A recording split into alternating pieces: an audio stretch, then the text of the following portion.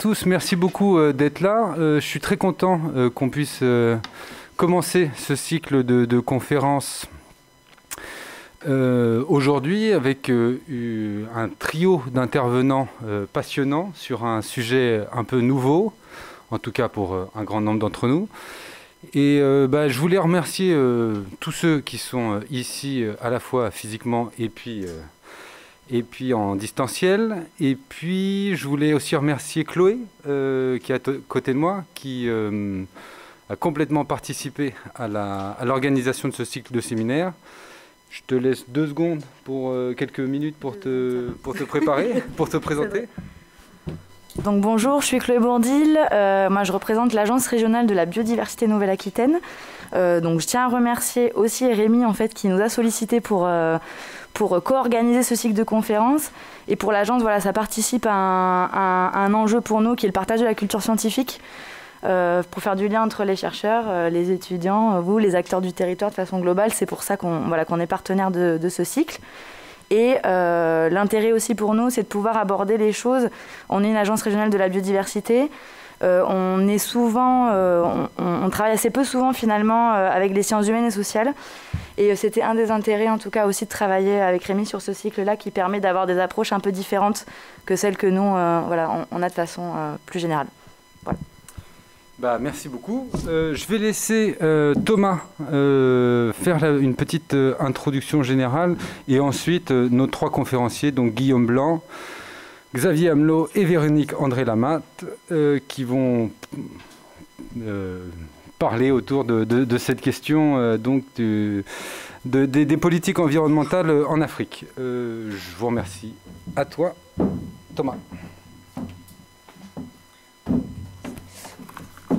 Bonsoir à tous. Donc merci à Rémi encore de m'avoir euh, proposé de co-animer ça. Vous ne me connaissez pas, je suis géographe. Et j'ai travaillé euh, sur l'agriculture urbaine au Sénégal et sur l'accès à l'eau potable en Côte d'Ivoire. Donc euh, je suis un peu familier des questions sans vraiment connaître les terrains qui vont être abordés. Donc il m'a proposé de faire une petite introduction et d'animer un petit peu la table ronde après. Alors, je vais essayer de replacer ça peut-être un petit peu dans les questions pédagogiques aussi qui se posent pour des, étudiants en paysagisme qui sont là. Euh, donc la table ronde de ce soir portera sur les représentations de la nature dans différents contextes d'Afrique subsaharienne et se focalisera autour de l'impact de l'idéologie coloniale européenne sur la gestion actuelle des espaces naturels. Le fait de tracer une frontière claire et étanche entre ce qui relève de la nature, inviolée par l'humain, et de la culture, qui relève plutôt de la production humaine, est une forme de croyance proprement européenne, comme le montre l'anthropologue Descola dans ses travaux avec les Indiens Jivaros, euh, cette distinction nette n'est pas universelle. Donc il y a beaucoup de sociétés humaines qui ne tracent pas de limite aussi imperméable entre le vivant humain et le vivant non humain. Cette pensée européenne a trouvé une traduction particulièrement forte dans la façon qu'ont eu les administrateurs coloniaux en Afrique d'interpréter, de cartographier et de canaliser les usages du territoire par les populations dites indigènes. C'est horrible les masques, j'ai de la buée donc je vous vois plus. Euh, donc la mise en place de politiques conservatrices excluant les habitants de réserves de biodiversité est au cœur de nos réflexions de ce soir. Et donc les chercheurs que nous avons invités à cette table ronde abordent de manière critique cette question. Donc on vous propose trois interventions ce soir qui vont aborder ces questions sous des angles et sur des terrains différents en Afrique. L'objectif de cette séance, sera peut-être de vous faire réaliser que cette distinction presque inconsciente qu'on fait entre nature, entre le naturel et l'anthropique, entre nature et culture, etc., ne va pas de soi et que c'est une convention sociale propre aux sociétés européennes. Nous verrons comment cette conception du monde peut se transformer en moyen de contrôle et de répression de la population, je pense aussi, pour avoir un peu lu euh, les travaux des intervenants, en tout cas euh, avoir parcouru. Et on aimerait que ça, ça vous permette en pour euh, des futurs professionnels comme vous de déconstruire cette représentation et de repenser la façon dont s'intègrent les activités humaines aux espaces dits naturels. Donc cette conférence va s'organiser en deux temps. Dans un premier temps, on va euh, accueillir Guillaume Blanc, qui est historien de l'environnement à l'Université Rennes 2, et qui nous présentera la thèse qu'il défend dans un ouvrage qu'il vient de publier aux éditions Flammarion, L'invention du colonialisme vert, pour en finir avec le mythe de l'Éden africain. On va prendre quelques minutes après pour des questions plutôt sur sa présentation, si vous avez des, questions sur des choses que vous n'auriez pas compris. Et puis ensuite, on va accueillir Véronique André Lamatte et Xavier Hamelot, qui sont au laboratoire Passage, donc le laboratoire dont dépend euh, une partie des enseignants-chercheurs de l'ENSAP, qui vont eux aborder leurs propres recherches. Et là, on prendra encore quelques minutes pour des questions plus sur des précisions sur leur présentation, et ensuite on ouvrira une table ronde entre ces trois intervenants, et puis vous, si vous avez des questions. Donc je vais tout de suite laisser la place à Guillaume Blanc, qui va se présenter et vous parler de son ouvrage. Merci.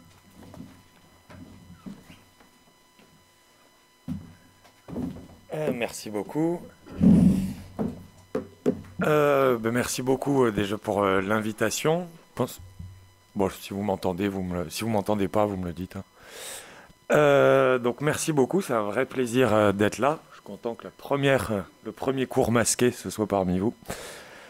alors donc moi je vais essayer de vous parler donc pendant 40 minutes hein, maximum du colonialisme vert et donc, pour rentrer euh, dans le vif du sujet, généralement, j'aime bien partir non pas d'Afrique, mais des Cévennes, objectivement le plus bel endroit de France, euh, d'un paysage agro-pastoral, avec des bancelles comme on les voit. J'ai étudié ce parc, mais j'ai étudié aussi celui du parc national du Sémien, en Éthiopie. En fait, les deux parcs ont deux points communs. Celui d'être euh, des paysages agro-pastoraux, donc façonnés par des agriculteurs et des bergers, et d'être tous les deux classés au patrimoine mondial de l'humanité, donc le patrimoine mondial de l'UNESCO. Ah oui, quand on inspire, en fait, oui, ça prend le masque. Euh, pour être classé au patrimoine mondial, il faut ce que l'UNESCO appelle une valeur universelle exceptionnelle. Pour les Cévennes, la valeur universelle, je l'ai mis en anglais parce que pour l'Éthiopie c'est en anglais aussi, c'est que les Kos et les Cévennes ont été façonnés par l'agropastoralisme pendant trois millénaires que ça représente un exemple d'adaptation à l'environnement, une tradition culturelle, et que les Causses et les Cévennes peuvent être vus comme un, exemple euh, d'agropastoralisme qui représente une réponse à l'environnement du sud-ouest européen. Donc finalement, on a une histoire d'adaptation. Par contre, quand on traverse la Méditerranée et qu'on va sur le continent africain et en Éthiopie, le parc, lui, a été classé au patrimoine mondial parce qu'il représente pour les paysages spectaculaires qu'il abrite, avec une érosion massive, etc. Euh, aussi parce qu'il a des espèces endémiques, donc qui n'existent que sur place, dans ce territoire. Donc là, par exemple, c'est le bouquetin, le Walia ibex. Mais le parc a été déclassé en 96 au patrimoine mondial en péril. Et donc, vous le voyez, c'est à la fin. Pourquoi est-ce qu'il a été déclassé? Bien parce que les activités agro-pastorales représentent une menace pour la valeur naturelle du bien. Donc on a deux paysages agro-pastoraux, mais on a deux histoires de paysages. Une histoire d'adaptation, elle est européenne, et une histoire, merci, et une histoire de dégradation qui est africaine. Alors, cette histoire, euh, ce n'est pas l'Éthiopie qui fait exception dans le monde. C'est plutôt le traitement par le reste du monde de la nature africaine qui fait exception. Le colonialisme vert, pour rentrer un peu, euh, pour le dire plus clairement, aujourd'hui encore, c'est des dizaines de gardes, qui, des dizaines de personnes pardon, qui peuvent être abattues dans des gardes, dans des parcs par des gardes. Donc ça, c'est des enquêtes révélées notamment par BuzzFeed. C'est surtout des milliers d'agriculteurs et de bergers qui peuvent être expulsés, donc expulsés des parcs, et des millions d'agriculteurs et de bergers qui sont encore punis d'amendes, de peines de prison pour cultiver la terre, l'habiter, chasser du petit gibier, bref, pour vivre une vie plus ou moins, disons, de sobriété écologique. Alors ça peut paraître choquant en se disant, bah non, c'est quand même l'UNESCO, le WWF, l'UICN, mais j'insiste là-dessus, les populations qui sont expulsées ou criminalisées sont des gens qui vivent d'une agriculture de subsistance pour la plupart. Donc ils produisent leur propre nourriture. Donc ils se déplacent à pied. Ils vivent sans électricité. Contrairement à 2 milliards de personnes, ils n'ont pas de smartphone ni ordinateur. Et pourtant, pour sauver la biodiversité, des institutions comme l'UNESCO, le WWF, l'UICN, Fauna Flora International, WCS recommandent leur expulsion. Pourquoi? Pourquoi est-ce que des paysans, là on est dans le parc national du Sémienne, donc avec une agriculture comme celle-ci, pourquoi est-ce qu'ils sont expulsés? Eh bien la réponse, elle se trouve un peu dans le mythe de l'Éden africain, qui peut expliquer qu'à Bordeaux, on peut aller voir en ce moment l'exposition Afrique savane sauvage. Est-ce qu'on pourrait avoir Europe savane sauvage? On pourrait peut-être avoir Asie jungle sauvage. Mais est-ce qu'on aurait ça sur l'Europe? Non. La naturalisation de l'Afrique, ce mythe de l'Éden africain, il a des conséquences aujourd'hui, et donc ce que je vais essayer de faire, mais de manière trop schématique bien sûr, eh ben, c'est de passer par l'histoire pour l'expliquer. J'allais dire, bon, moi je suis de formation, je suis historien, mais la démarche historique, là, c'est presque par défaut. C'est qu'on ne peut pas comprendre pourquoi aujourd'hui Bordeaux Métropole peut organiser quelque chose, Bordeaux Culture, pardon, peut organiser quelque chose qui s'appelle Afrique Savane Sauvage, sans voir d'où ça nous vient. Alors, je ferai d'abord un bref panorama sur les origines, disons, des, parcs nationaux en Afrique.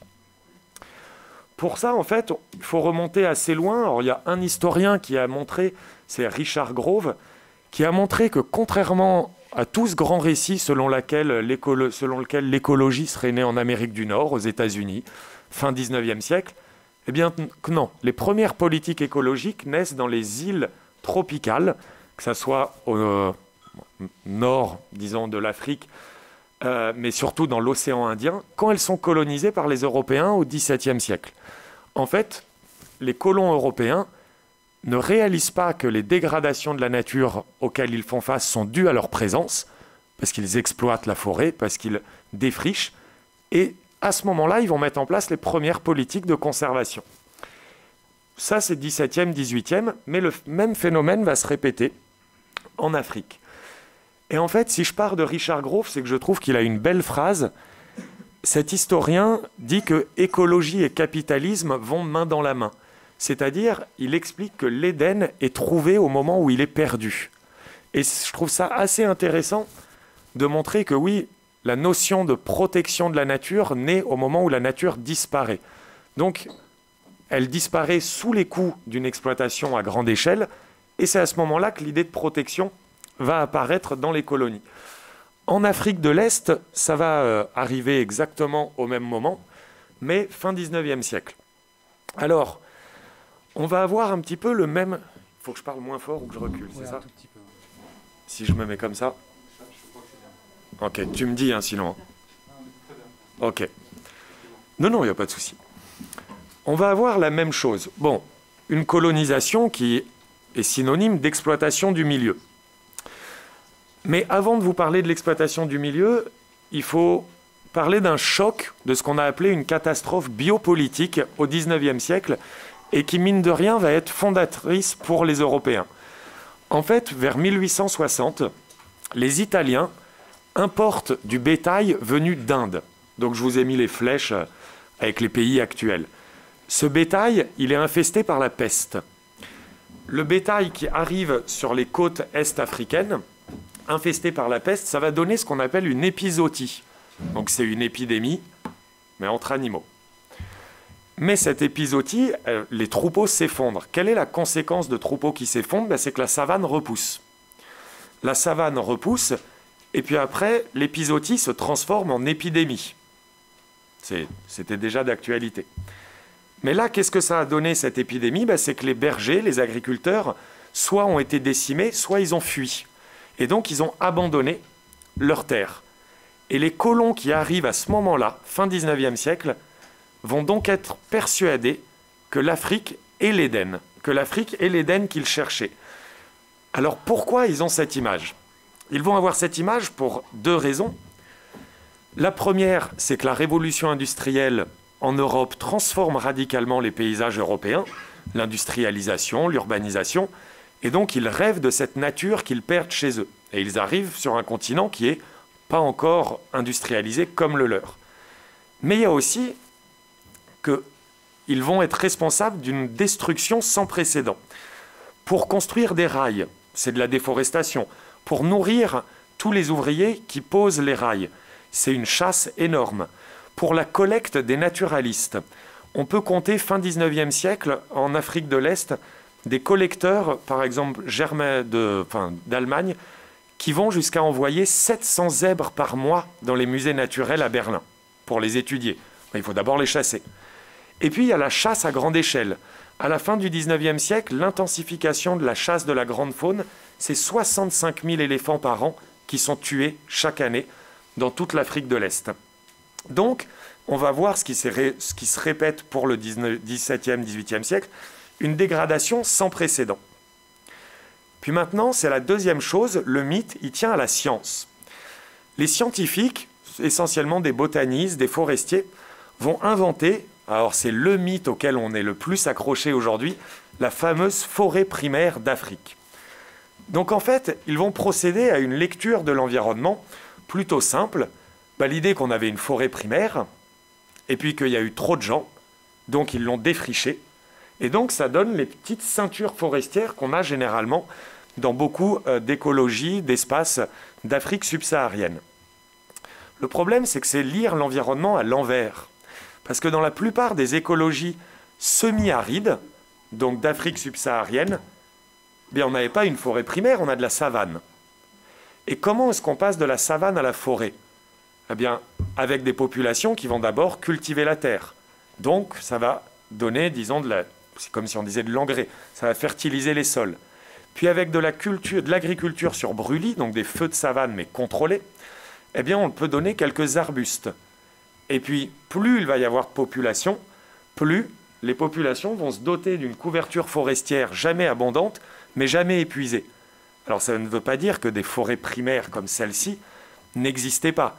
Ce que ça veut dire, c'est que les Européens, comme les Africains, comme les Sud-Américains, comme les Asiatiques, la plupart du temps, ce sont les hommes qui créent les conditions de pousse des arbres. La forêt primaire, alors depuis deux ans, on a trouvé une forêt primaire en Pologne. Ça sera la première forêt primaire qui ne se situe pas dans des anciennes colonies européennes. Mais la forêt primaire, elle se situe essentiellement en Afrique. De la même manière que les ethnies se situent en Afrique. En France, on a des peuples, des communautés. Regardez aujourd'hui l'Éthiopie, si vous regardez l'actualité, il y a apparemment une ethnie majoritaire dans le pays qui est responsable des troubles. Cette ethnie sont les Oromos, ils sont 43 millions. 43 millions, pour eux, ça vaut l'appellation de peuple. Mais pour un journal comme Le Monde, qui a publié ça hier sur l'ethnie qui euh, bouscule l'Éthiopie, c'est une ethnie. J'insiste parce que le vocabulaire compte. La forêt primaire, ça va jouer dans l'idée d'une dégradation. Cette forêt primaire, ce mythe, il va être mis en application dans des réserves de chasse. La réserve de chasse qui est créée, disons, à la fin du 19e siècle, c'est, alors c'est une blague un peu de le dire comme ça, mais euh, en fait ça vient de là, bah, c'est le mythe du bon et du mauvais chasseur. Le bon chasseur, il est blanc, il est sportif, il chasse le trophée au fusil et avec bravoure. Par contre, on va avoir l'invention dans les réserves de chasse fin 19e, début 20e, du mythe du mauvais chasseur. Le mauvais chasseur, c'est le braconnier. Le braconnier, à cette époque-là, il est noir. Il chasse non pas la nourriture, euh, non pas le trophée, mais la nourriture, non pas au fusil, mais à l'arc et à la lance, et non pas avec courage et bravoure, mais ah oui, je parle vraiment trop fort. Mais à la lance. Et ces réserves de chasse vont devenir des parcs nationaux dans les années 30. Et les parcs nationaux vont servir de moyen d'exproprier les populations colonisées, de les priver du droit à la terre. Et la dernière partie du mythe, donc on a la science, on a la croyance dans l'Éden africain, on a les normes avec les réserves de chasse et les parcs, et puis surtout on a le mythe qui va se diffuser. Le mythe, le mythe, eh ben, c'est disons des produits culturels. Alors c'est quand la grande presse s'empare des récits de voyage. Stanley Livingstone qui parle de jardin vivant. Ernest Hemingway dans les années 30 sur les neiges du Kilimandjaro. Alors où il va dire qu'il y a les Big Five, le lion, le léopard, le buffle. Bon, les Big Five c'est en Afrique du Sud, mais vous voyez cette Afrique comme un grand tout sauvage. Et puis on va avoir Karen Blixen, Out of Africa. Alors ça va devenir la ferme africaine ensuite, où elle a cette belle phrase. C'est-à-dire que le vieil habitant et l'éléphant se ressemblent. Ce sont des vieux du paysage. Et puis on va avoir Romain Gary, Les Racines du ciel, qui est à la fois un bouquin extrêmement beau et où en même temps la quatrième de couverture indique l'idée de conservation, c'est une idée d'homme rassasié, comme si la conservation ne pouvait pas concerner l'amour pour les éléphants, ne pouvait pas concerner des, paysans ou et des paysans africains.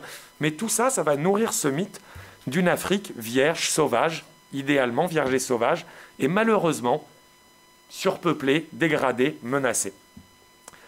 Voilà pour 110 ans d'histoire brièvement tracée.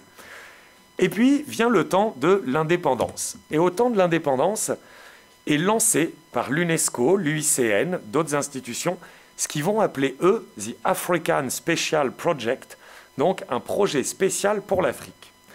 Alors ce projet, quel est-il? Ce projet, en fait, c'est assez fantastique quand on l'étudie d'un point de vue euh, d'historien, mais c'est assez dramatique en vrai. Eh bien, ce sont tous les administrateurs coloniaux qui se retrouvent au chômage.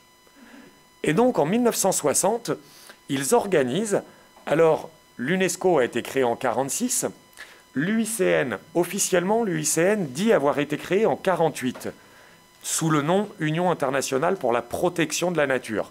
Puis en 1956, elle, aurait elle a changé de nom, IUCN, non plus protection mais conservation. En réalité, l'UICN a été créé en 1928. C'était l'Office de corrélation et documentation pour la conservation de la nature.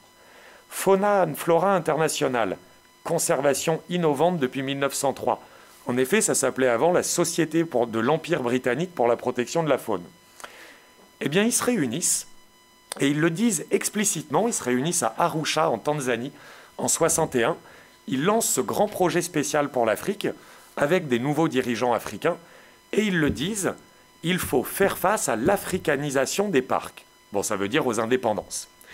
Et ils ont une idée, une banque, créer une banque dont le premier objectif serait de financer l'UICN.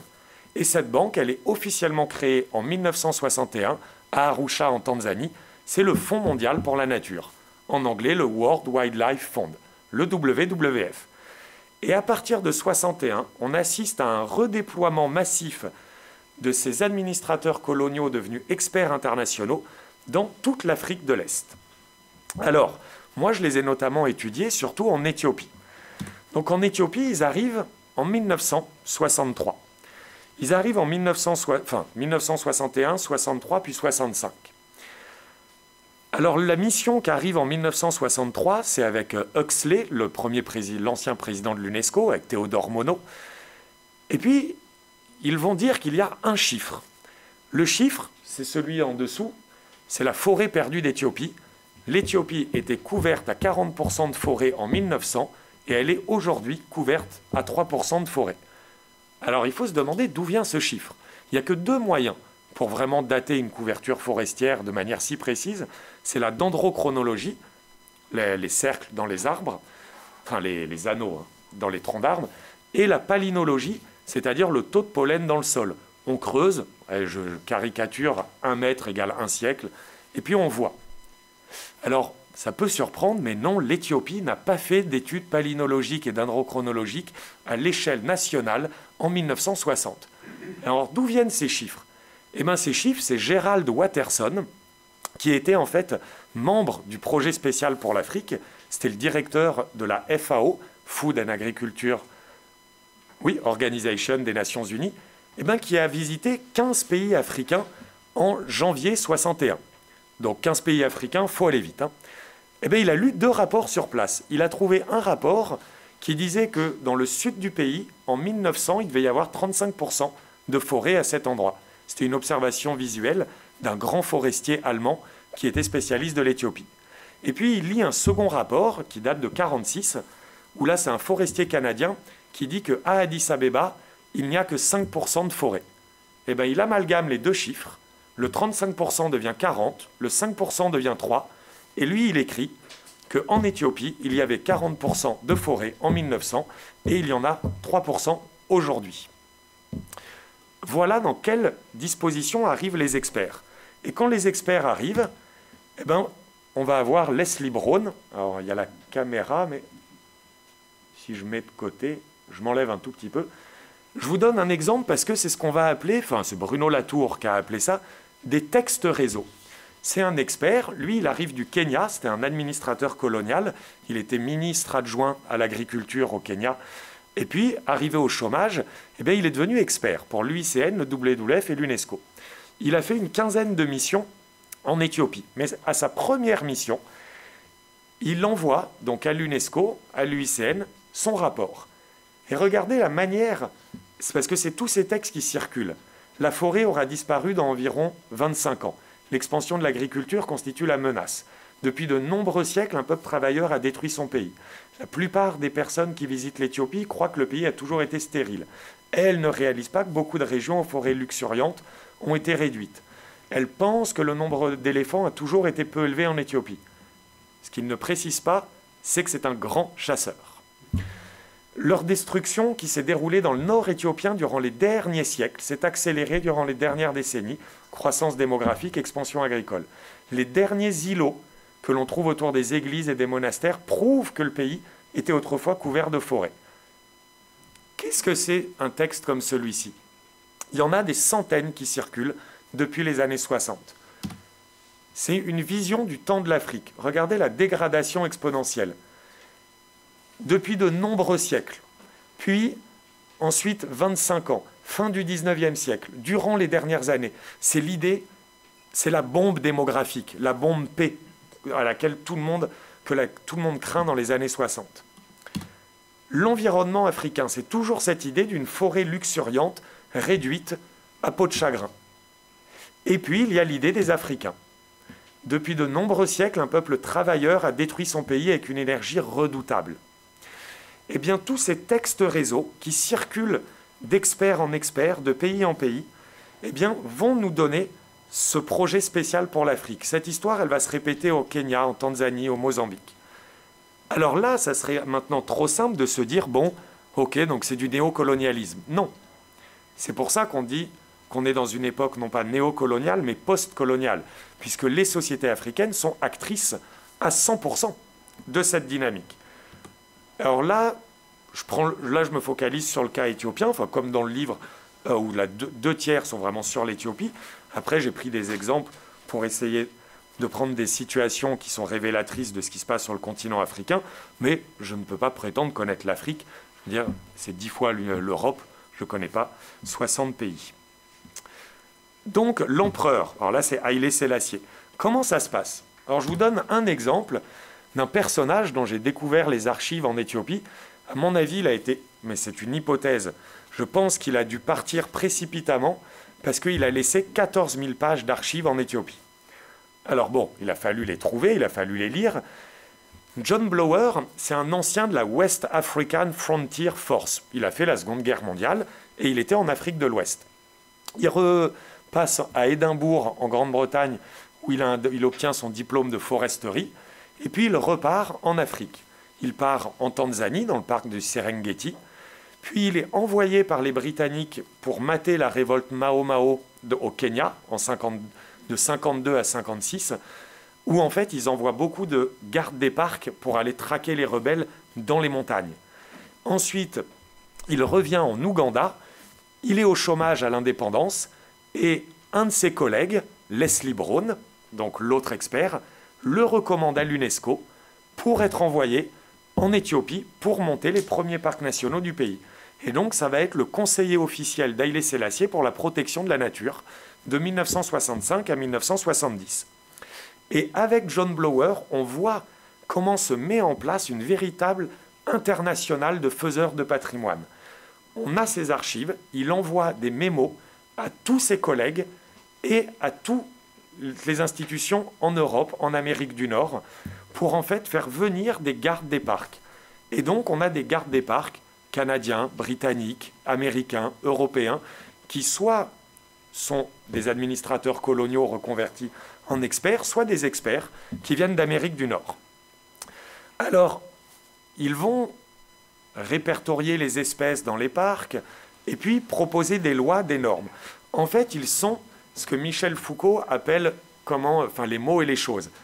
Eh bien, ça donne l'incarnation totale. Ah oui, quand même, ces experts. Donc ici, à gauche, on a Yann Grimwood, celui dont les collègues disent qu'il était capable de conduire une expédition dans le désert avec des côtes cassées. Et effectivement, il a été prisonnier dans les camps de guerre japonais pendant la guerre. Donc apparemment, c'était le baroudeur. C'est comme ça que ses collègues l'appelaient, le baroudeur de l'UICN. Ici, c'est Clive Nicol. Je remets la caméra, pardon. Ici, c'est Clive Nicol, un Canadien, donc celui qui est torse nu euh, dans le Sémiel. Et là, John Blower. Je vous conseille, si jamais vous regardez, c'est dans un article, la légende de la photo est très belle. C'est euh, John Blower qui écrit son, son récit de vie. Il y a marqué Moi dans le Sémien avec ma mule préférée. Bon, c'était l'époque. Alors pourquoi je dis les mots et les choses? Ils ont une idée, l'Éden africain ou une Afrique, disons, dégradée. Ils vont essayer de normer et ils vont essayer de rationaliser. Eh bien, c'est comme ça que l'idée devient une chose, que la nature est mise en parc. La nature ne peut exister que si elle est mise en parc. Le parc n'existe que pour la nature, avec l'expert comme intermédiaire. C'est finalement c'est comme ça que Foucault disait comment la science entre en action ou devient concrète. Eh bien, ici, c'est ce qu'ils font. Et ces experts, alors là, ce n'est pas euh, de moi, hein, c'est un Britannique qui le dit, ils souffrent du syndrome Empire Strikes Back, l'Empire contre-attaque. Certes, mais ces experts, ils ne fonctionnent pas dans un monde isolé. Ces experts, ou les dirigeants, ils ont affaire aux dirigeants éthiopiens, comme ils ont affaire à des dirigeants en Afrique. Toute cette internationale, Huxley, le président de l'UNESCO, Haile Selassie, il faut voir comment ça se passe concrètement sur le terrain. Eh bien, sur le terrain, je vous donne l'exemple Julius Nyerere, c'était le premier ministre tanzanien qui avait accueilli la conférence d'Arusha. Bien, Julius Nyerere, il l'a dit à la conférence d'Arusha, il a salué la création du WWF en disant que la Tanzanie était prête à poursuivre les efforts accomplis pendant la colonisation dans les parcs et à travailler avec les experts. Par contre, dans les journaux tanzaniens, il a toujours dit Je n'ai pas l'intention de passer mes vacances à regarder des crocodiles, mais apparemment les Occidentaux sont prêts à dépenser des millions pour ça, donc nous leur donnerons. Parce que que voulait faire Julius Nyerere? Une politique socialiste, et pour ça il fallait villagiser les campagnes, donc notamment déplacer des populations. Eh bien, grâce aux financements internationaux et à la légitimité internationale que permettent les parcs nationaux, eh bien, il a pu procéder à ça. Haïlé Sélassié avait un objectif par-dessus tout, faire reconnaître l'Éthiopie par le monde, par la communauté internationale. Car Haïlé Sélassié, c'était sa préoccupation pour que l'Éthiopie existe. L'Éthiopie n'a jamais été colonisée, c'est une puissance coloniale. C'est-à-dire que l'Éthiopie a colonisé fin 19e siècle. Fin 19e siècle, l'Éthiopie faisait un quart de ce qu'elle représente aujourd'hui. Les Britanniques sont arrivés, les Français sont arrivés, les Italiens sont arrivés.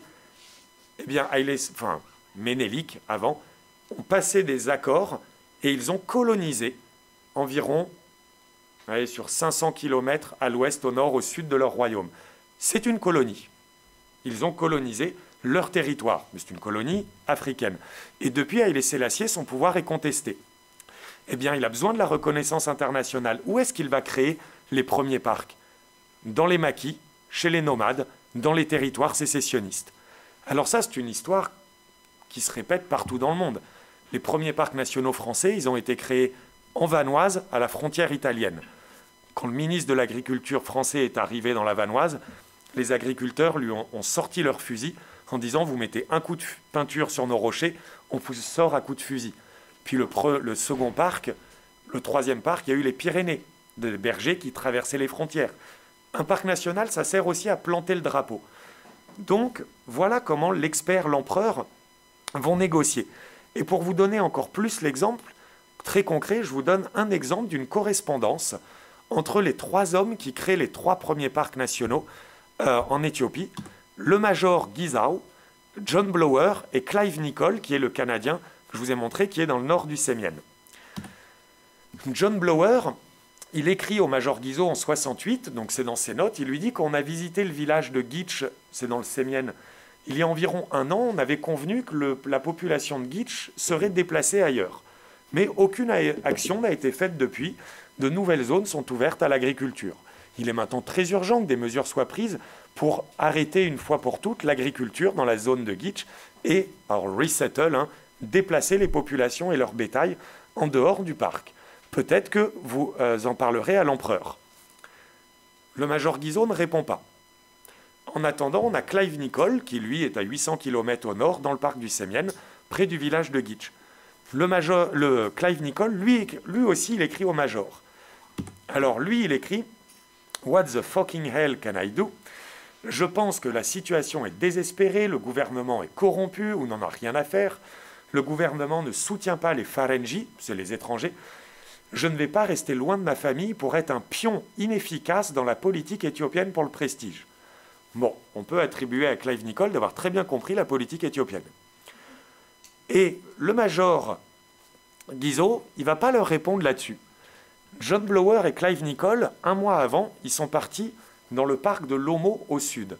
Si vous tapez, pas maintenant, sur Wikipédia le parc de Lomo, vous verrez que Wikipédia explique que c'est là où on peut découvrir les négresses vertes, les femmes à plateau. Femmes à plateau, ça irait très bien, mais... Eh bien, ce parc, il a été créé par John Blower et Clive Nicole, identifiés et normés. Mais ils sont tombés en panne de voiture. Tombés en panne de voiture à 1200 km au sud d'Addis Abeba à la fin des années 60, il n'y a qu'une seule solution pour se nourrir, ben c'est faire comme les paysans, c'est chasser. Donc ils ont chassé. Et le major Guizot, lui, sait qu'ils ont chassé. Et du coup, lui, il leur envoie un autre mémo en leur disant le but de votre voyage n'était pas de chasser euh, de la viande pour se nourrir. Si vous voulez faire votre propre chasse, merci d'obtenir une licence comme tout le monde. Si on n'observe pas nos propres règles dans nos propres rangs, on ne peut pas attendre que les autres en fassent autant, le système sera affaibli.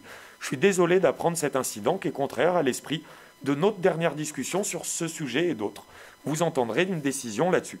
Ils ont été suspendus de solde pendant un mois. Donc on voit bien qu'il y a une alliance entre l'expert et l'empereur, mais qu'il y a plus une négociation permanente. C'est ça la clé du colonialisme vert. De la même manière que le colonialisme n'aurait pu marcher sans un certain consentement des élites, le colonialisme vert ne marcherait pas dans les années 60-70 sans cette négociation du pouvoir. Maintenant, si on va encore plus à l'échelle locale, eh bien là, on peut voir que la nature, la manière dont elle va se construire dans le parc national, eh bien, c'est que les parcs sont des espaces de violence. Alors, qu'est-ce que ça veut dire? Il faut d'abord comprendre de manière, on va dire, globale le contexte des années 70. Les années 70, au niveau du contexte international, on a la peur du péril démographique et avec tout un tiers-monde qui est devenu indépendant. Et on a un biologiste, Gareth Hardin, qui écrit dans le grand journal Nature en 68 La tragédie des communs. Bon, je ne vais pas vous expliquer la tragédie des communs selon lui, mais c'est très simple pour lui, c'est de dire que si tout est une propriété publique, tout le monde va ramener de plus en plus d'animaux, donc ça va dégrader, donc l'absence de propriété ou l'absence de régulation ruine l'environnement. Et donc il en appelle très officiellement, alors je vous cite quand même son article dans Nature, il appelle les institutions internationales à mettre en place une coercition mutuelle décidée en commun en Afrique et en Asie ça va être repris, cette peur ou cette articulation entre explosion démographique, destruction des ressources et besoin d'action internationale au sommet, euh, le premier sommet pour la planète qui a lieu à Stockholm en 72. C'est la première conférence pour la planète. Et en fait, ce lien entre surpopulation, tiers-monde, raréfaction des ressources, conflit, ça va donner lieu à une violence globale. Une violence imperceptible, certes, mais quand on les regarde dans les parcs, eh bien c'est une violence permanente. Si on prend les années 70, je vais accélérer un peu là-dessus pour aller plus dans les années 80-90, si on prend dans le Sémienne, par exemple dans ce village-là, on est à Arquoisier, eh bien c'est là qu'en 1970, quand le parc national a été créé et que l'UNESCO a demandé euh, par ses experts d'expulser les populations pour sauvegarder le Walia ibex. Donc c'est un bouquetin endémique à la zone. Eh bien, qu'ont fait les populations? Les populations ne chassent pas ce bouquetin. Chasser un bouquetin, c'est dur, il vit sur des falaises à 4500 mètres d'altitude. Et ensuite, si on est assez bon au fusil pour l'abattre, ben, il tombe d'une falaise, il y a peu de chances qu'il reste énormément à manger à la fin. Il ne le chasse pas également parce qu'il n'aime pas cette viande, parce que c'est une viande qui est apparemment extrêmement difficile à cuire. Et faire bouillir de l'eau à 3500 mètres d'altitude, c'est quasiment impossible. Mais alors, qu'est-ce qu'ils ont fait? Eh bien, ils ont pris leur fusil et ils ont été abattre tous les bouquetins, en se disant tout simplement, s'il n'y a plus de bouquetins, il n'y a plus de parc, donc il n'y a pas d'expulsion. Donc, vous voyez, entre les grands discours et comment ça se passe sur place, bah, les deux perdants, c'est l'habitant et c'est l'animal. Et il faut bien retenir, l'UNESCO va justement classer le parc au patrimoine mondial de l'humanité en 78. Pourquoi? Le parc, à cette époque, c'est devenu le premier maquis de résistance en Éthiopie. L'empereur Haïlé Sélassié a été renversé par un militaire, ici, Mengistu Haïlé Mariam, pas Fidel Castro, hein, euh, en 1974. On retrouvera d'ailleurs la dépouille d'Haïlé Sélassié sous le bureau de Mengistu 18 ans plus tard. Mengistu, il, a peur de ces maquis qui se révoltent. Et le premier maquis, c'est les montagnes du Sémienne. Eh bien, les, montagnes du Sémienne vont devenir le premier parc à être classé au patrimoine mondial de l'humanité. Parce que pour Mengistu, c'est un moyen d'aller contrôler les populations. Et effectivement, il va se servir depuis 1978 des experts et des fonds pour essayer de contrôler ce maquis. Voilà comment la nature naît sous le signe de la violence. Et puis vient l'ouverture d'une autre ère, la nôtre, le développement durable. Alors le piège développement durable, c'est pas de moi, hein. c'est euh, Gilbert Rist, qui est un politiste, qui dit que le piège, que le développement durable est un piège rhétorique qui consiste à nous rassurer pour faire perdurer le même système.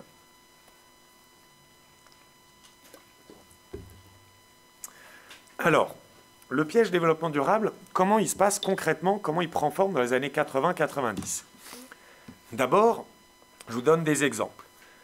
Ici, on est dans le parc national du Sémienne. Ce village-là, c'est le village d'Ambaras. Il a été reconstruit, mais en fait, les villageois se souviennent encore qu'il a été brûlé en 1982. C'est au moment où l'UNESCO venait de classer le parc. Et effectivement, on trouve dans les archives éthiopiennes les traces des soldats qui sont allés, Kalachnikov et essence à la main, brûler le village, et l'UNESCO qui salue en disant que un grand effort vient d'être mené pour la lutte pour la biodiversité, puisque les villages ont été déplacés. Non, les villages ont été brûlés par des militaires et les populations expulsées par la force. Et dans les années 80, le pouvoir va se retrouver dans tous les parcs. Ici, c'est le parc Kruger en Afrique du Sud. C'est le deuxième parc à être créé sur le continent africain.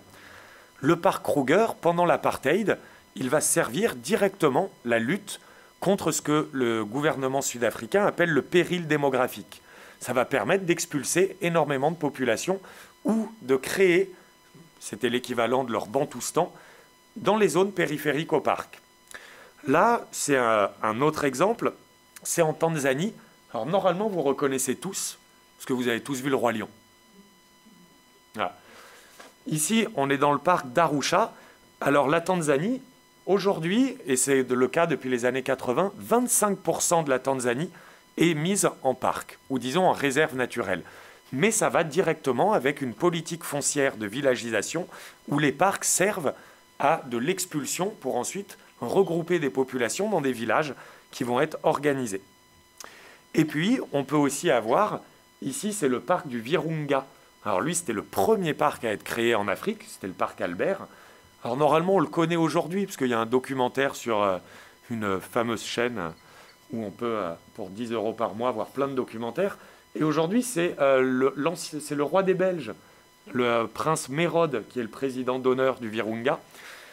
Le parc du Virunga, ben, Mobutu s'en est servi pour contrôler les rebelles, parce que celui qui allait renverser Mobutu en 97, euh, pardon, en, oui non, en 97, eh bien Kabila, il vient de cette zone. Aujourd'hui, le Kivu, ça permettait à Mobutu d'essayer d'envoyer des militaires dans cette zone. Donc vous voyez que ça se répète partout, il y a des contextes locaux et liés à la violence. Ça, c'est les années 80. Mais les années 80, c'est aussi le temps d'un nouveau discours, celui du développement durable. Alors, comme elle l'avait fait dans les années 60, quand ils avaient lancé le projet spécial pour l'Afrique, eh bien là, les Nations Unies font de nouveau appel à l'UICN, au WWF, à la FAO, pour mettre en place une stratégie mondiale pour la, conservation. Cette stratégie mondiale, elle va trouver son prolongement dans un rapport qu'on connaît tous sans forcément le connaître, le rapport Brundtland en 87, notre futur à tous. Dans le rapport, le rapport Brundtland va déboucher sur la Convention pour la diversité biologique, pour la protection de la biodiversité, qui est signée à Rio. C'est le premier sommet pour la planète, en fait le deuxième parce qu'il y avait eu Stockholm, en 92. Dans le rapport Brundtland, la ministre le disait bien, je vous le cite, elle disait il est à la fois insultant et futile de demander à des pauvres de rester pauvres pour préserver l'environnement que les pays riches dégradent. C'était bien vu.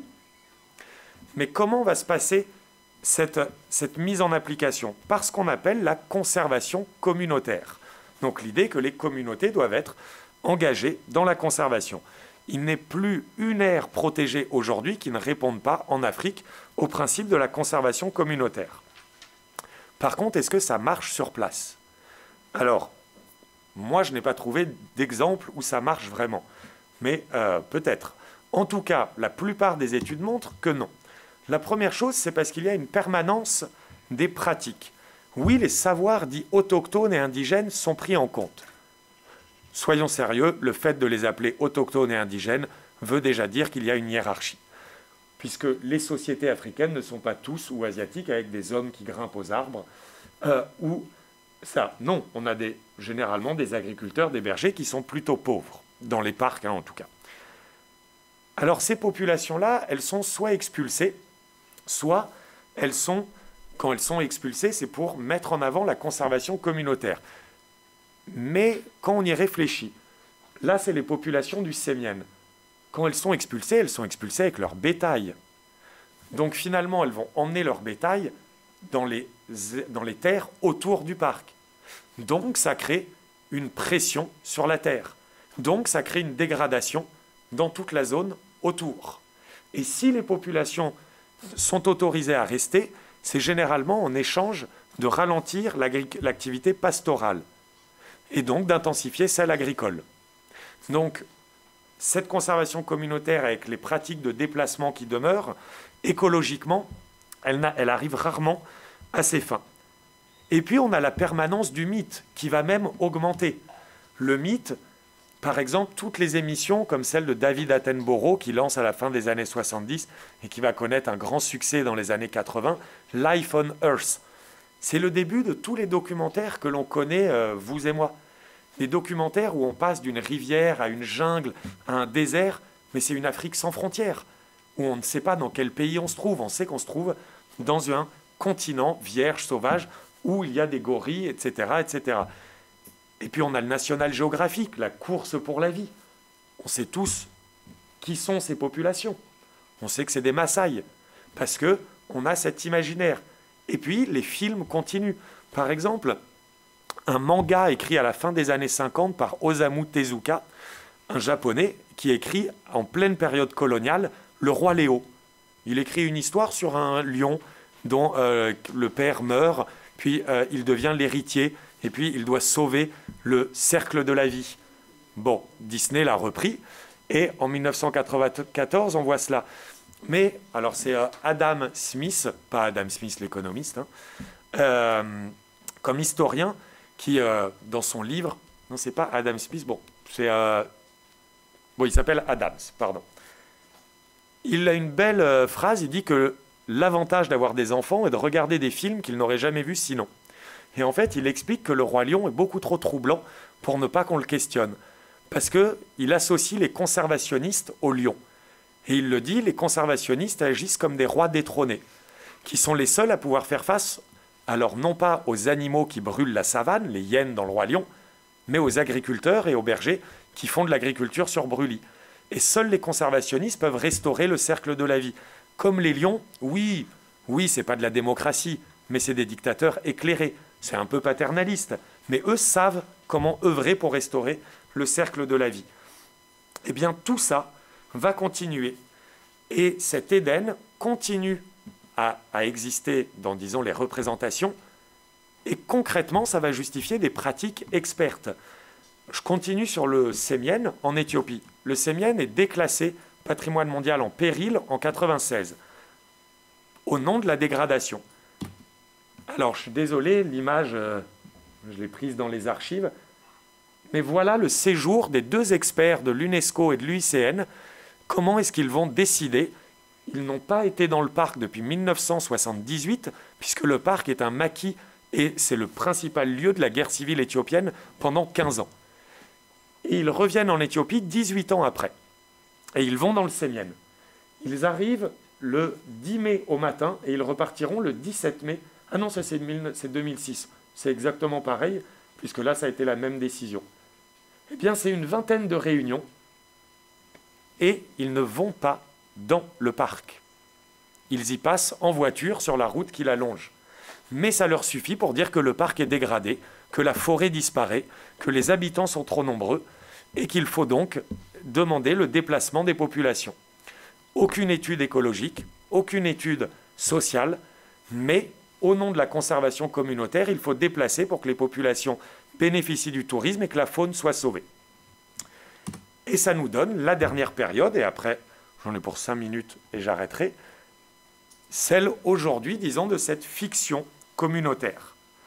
Je continue sur le Sémien pour donner davantage à voir le poids de, ce, de cet imaginaire de la dégradation. Je reviens sur le bouquetin, le Walia Ibex, quand on prend les archives des institutions internationales. Leslie Brown, en 63, le dit le nombre total de Walia est d'environ 150. Pour conclure, la situation est sérieuse mais pas désespérée. WWF, euh, John Stephenson, 78. Le rare Walia endémique, pas plus de 300 demeures, risque d'être perdu à jamais. 20 ans après, un projet de développement intégré autrichien, mais en partenariat avec les institutions internationales de la conservation, environ 430 Walia ibex. Il y a une grande peur pour la conservation du Walia. UNESCO, UCN, 2017, seuls 950 Walia ibex demeurent, le danger perdure. Selon leurs propres archives, le nombre de bouquetins a donc été multiplié par 6. Si on regarde le nombre de populations, non, je l'ai pas mis, de populations humaines, les habitants du parc sont passés de 3 000 à 12 000. Il y a 4 fois plus de gens et il y a 6 fois plus de bouquetins. Donc il y a bien une coévolution. Les populations ne chassent pas ce bouquetin. Mais pour autant, les populations vont quand même être expulsées là-dessus. Elles vont être expulsées aussi au nom du mythe de la forêt perdue d'Éthiopie. Parce qu'aujourd'hui encore, en Éthiopie, la forêt est passée à 3%. Ça fait 60 ans que le même chiffre que je vous ai cité tout à l'heure, l'Éthiopie était couverte de forêt à 40% et aujourd'hui à 3%. Depuis 1961, selon les experts, l'Éthiopie est couverte de forêt à 3%. Donc ça fait 60 ans que la population éthiopienne augmente, que la forêt reste à 3%. Ce chiffre, il est repris par exemple par Al Gore. La première introduction d'Al Gore sur l'Afrique, dans Sauver la planète Terre et une vérité qui dérange, eh bien c'est à cause de la corruption, de la sécheresse et de l'agriculture, l'Éthiopie a perdu sa forêt de 40% de couverts forestiers. Le pays est passé à 3%. Il n'est pas allé voir d'où viennent ces chiffres. Et c'est comme ça que des chiffres de dégradation se répètent, se répètent, puisque personne ne les conteste, puisqu'à force d'être répétés, ils deviennent vrais. Alors Al Gore, c'est un militant écologique qui sert la cause écologique. Ses ouvrages, mais c'est mon opinion, je trouve qu'il est l'un des rares à décrire avec une vraie précision les ravages sociaux du changement climatique. En revanche, Al Gore est beaucoup plus discret, sur les causes. Rien dans ces deux ouvrages sur Google et Apple. Le dernier ouvrage pour lequel il a eu le prix Nobel de la paix en 2007, Google et Apple existaient déjà, puisqu'il était déjà au conseil de direction du premier et l'un des principaux financeurs du deuxième. Et c'est là toute la contradiction, c'est que ceux qui protègent sont généralement ceux qui détruisent. Et c'est là la matrice du colonialisme vert. L'idée de se dire que puisque la nature ne peut plus être sauvée chez nous, ou disons ici, il faut la sauver là où elle est encore vierge, naturelle, sauvage, là-bas. Le problème est que l'Afrique n'est pas vide. Les parcs africains ne sont pas vides d'habitants, ils sont vidés de leurs habitants. Voilà la matrice. Et sur le terrain, comment se passe la conservation communautaire aujourd'hui? On a un grand programme lancé par le WWF au Zimbabwe, Campfire. Les populations locales se sont vues investir du droit de décider de leur euh, politique dans les parcs.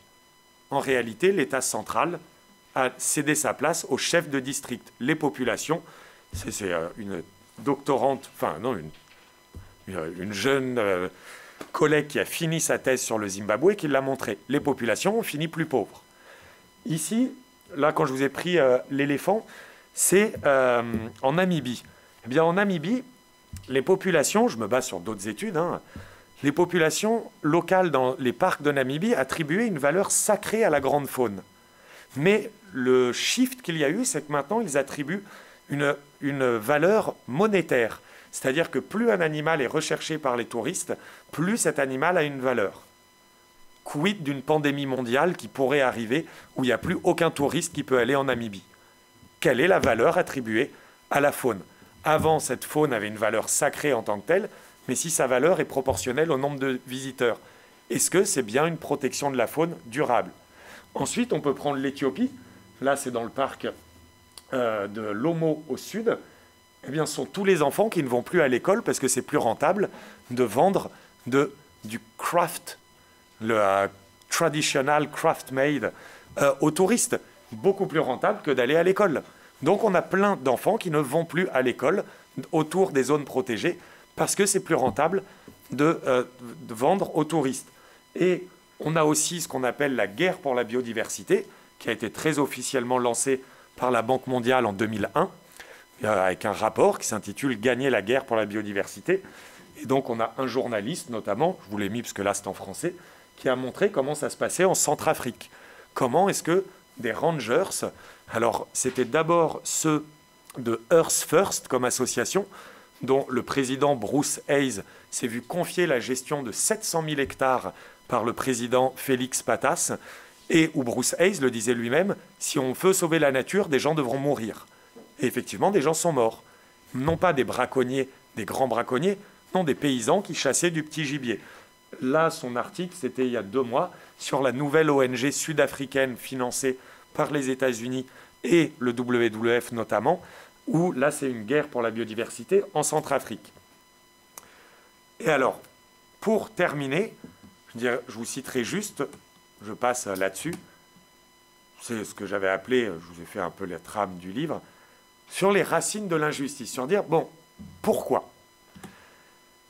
Ça, c'est le village de Gitch dans le parc national du Sémienne.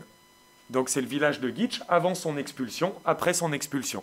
Voilà ce que le village que l'UNESCO a demandé de déplacer au nom de la sauvegarde du Walia Ibex, qui pourtant augmentait, et de la forêt qui, non, n'a pas disparu dans les études qu'on peut mener sur le Sémienne.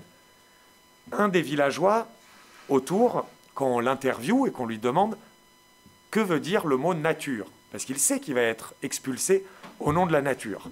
En amérique, le mot qui s'en rapproche le plus, c'est tefetro. Ça veut dire ce qui est créé et se recrée autour de nous. Et ça pourrait désigner la ressource, si on le traduisait dans notre langue.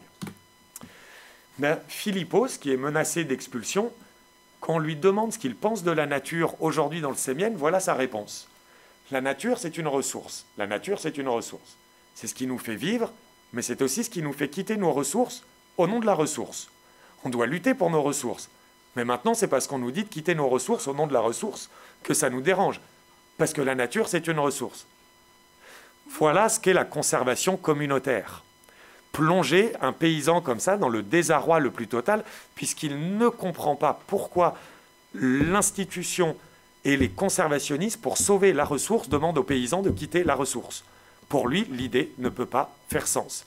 Pour lui, ça n'a aucun sens. Donc la conservation a beau être communautaire, tant qu'il n'y a pas le consentement, cette conservation n'atteint pas ses objectifs sociaux. Après, on peut voir le côté absurde.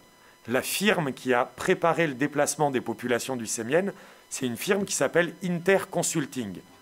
C'est cette firme qui est responsable des projets de développement durable pour Rio Tinto, ExxonMobil et Total, qui mènent des projets de développement durable. Après, je pense qu'on sait tous qu'ils ne font pas que du développement durable. Et après, on pourrait encore être un peu plus critique et dire oui, mais la nature est gagnante. Et ça sera promis ma dernière phrase. Calculons le coût écologique d'une visite dans un parc national. Avoir des bâtons de randonnée, c'est de l'aluminium, donc c'est de l'extraction de bauxite. Avoir une veste imperméable en Gore-Tex, c'est de l'extraction de téflon. Avoir une polaire pour qu'on ait chaud dans la montagne, c'est des résidus de pétrole. Avoir un smartphone, parce que généralement on vient avec un smartphone ou avec un vieux portable, mais c'est quand même pas écologique. Le smartphone, c'est du tantal de Chine, non, du néodyme de Chine et du tantal généralement au Congo. À cela, on rajoute 0,5 tonnes de CO2 pour l'aller-retour en avion. Donc disons-le, aller visiter un parc naturel en Afrique, c'est l'équivalent de détruire dans le monde les ressources qui sont protégées dans un parc. Il n'est donc pas question de protéger la nature, mais bien de l'offrir à la consommation du monde extérieur. Ce monde extérieur n'étant généralement pas ceux qui vivent autour du parc. Et je vous remercie beaucoup.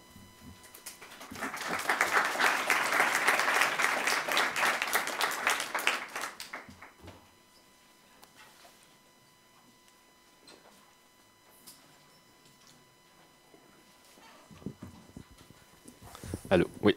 Bah, merci beaucoup pour euh, cet exposé très intéressant. Je pense que ça a retourné quelques cerveaux dans la salle et ça a fait bien réfléchir. Est-ce qu'il y en a, on va prendre euh, cinq minutes, est-ce qu'il y en a qui auraient des questions sur des précisions vraiment sur cet exposé-là? Puisqu'on prendra le temps de discuter plus largement à la fin de tous les exposés. Personne? Bon, on va peut-être passer euh, donc aux intervenants suivants.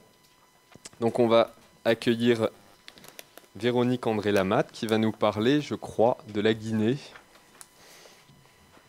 Donc je vais prendre la suite euh, de Guillaume. Euh, je vais vous parler de la Guinée parce que c'est la commande aussi euh, qui m'a été faite. et donc,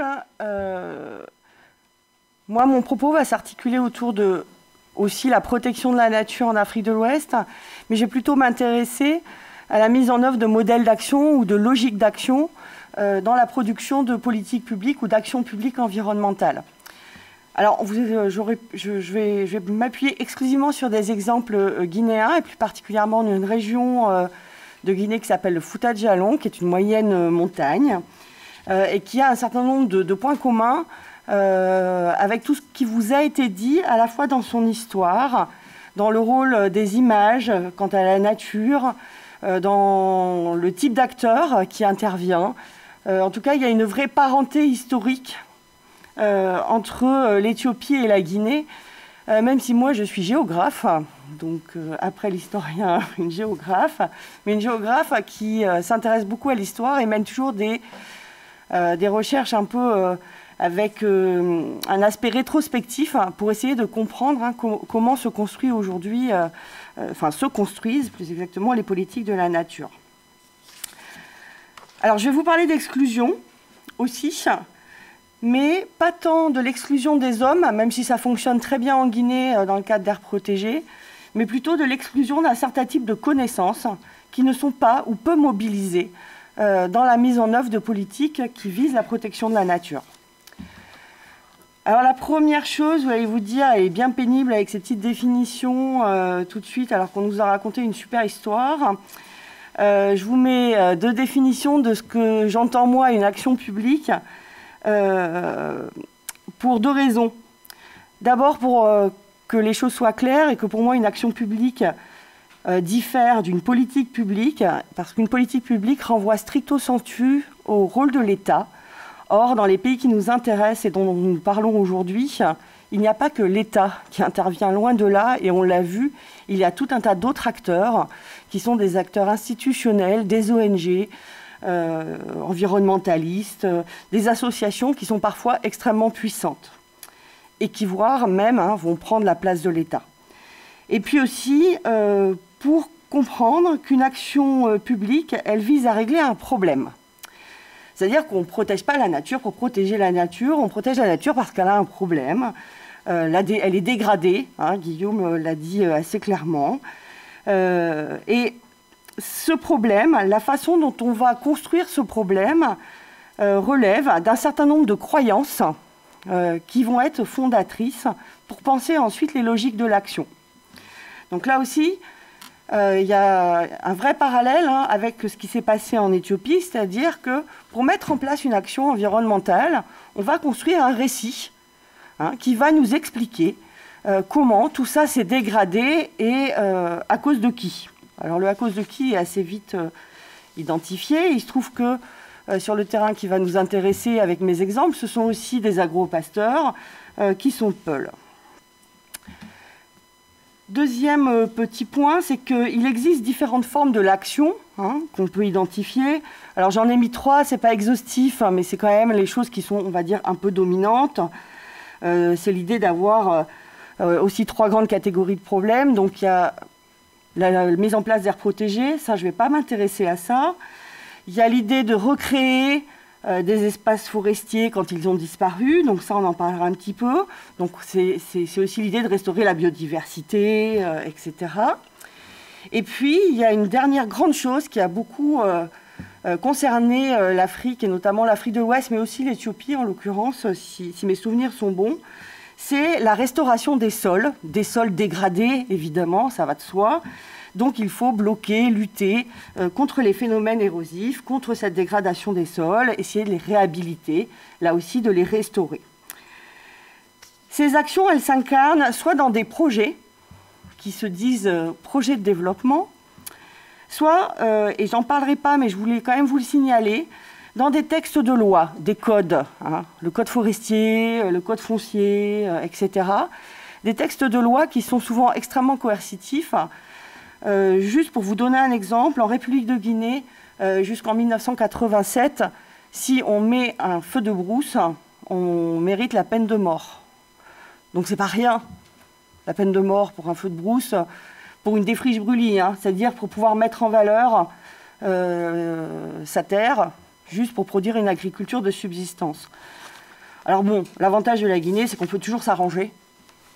Hein, donc même avec le garde forestier, il y a moyen de, trouver des solutions. Ces logiques euh, de l'action, je les ai associées avec mon petit « et » à quelque chose d'assez fort que j'ai appelé rapport de domination.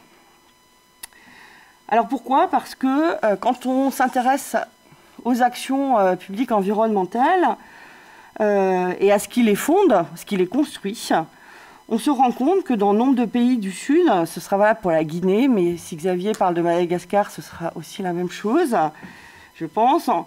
Ça peut se résumer, ces, logiques qui fondent l'action, à une espèce de recherche de rationalité comprendre occidentale, qui s'appuie sur une espèce de relation à la technique euh, qui peut un peu régler tout. Euh, une conception de la relation homme-nature qui est bien particulière et euh, qui considère aussi les objets naturels d'une manière particulière. Et puis un certain nombre de modèles pour agir qu'on a déjà testés et que l'on ressort un peu systématiquement. Ces logiques occidentales que, je viens de vous citer, normalement, elles devraient se confronter, mais pour discuter, pour s'hybrider même, potentiellement, avec d'autres logiques qui sont celles euh, des habitants des territoires qui sont euh, visés hein, par la mise en place de ces, actions environnementales. Sauf que euh, je vous ai mis en rouge un VS versus, parce qu'elles discutent peu, elles dialoguent pas. Alors en face, on a quoi? On a quelque chose qui est sous-estimé, on va voir comment. Euh, l'empirisme, donc euh, tout ce qui relève de l'empirisme, de l'expérience, de l'expérimentation. Euh, d'autres conceptions de la relation homme-nature, et, je terminerai d'ailleurs sur ça. Et puis des façons d'agir qui sont pensées a priori autrement, sans lien à cette rationalité, en tout cas avec une autre manière de penser la rationalité. Alors pourquoi, euh, je, parle de rapport de domination? Bah, Parce que euh, le haut de ma diapo a clairement pris le pas sur le bas de ma diapo.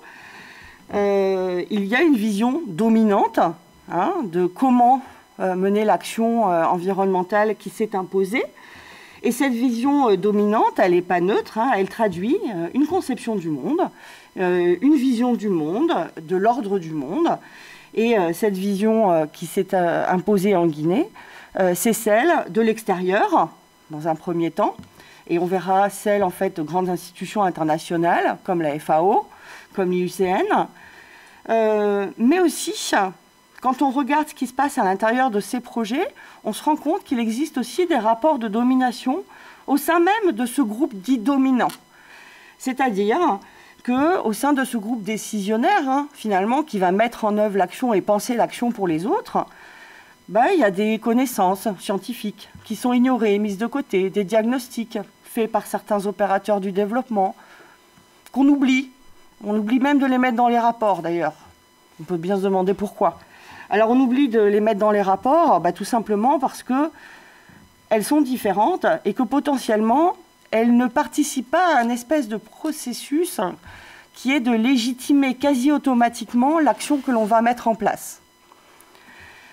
Tout à l'heure, je vous ai dit, une action publique, ça vise à régler un problème qu'il faut définir par un diagnostic, sauf que là, le problème, il n'est pas défini, il est posé quasiment a priori. Et c'est comment on s'arrange pour qu'on valide ce problème.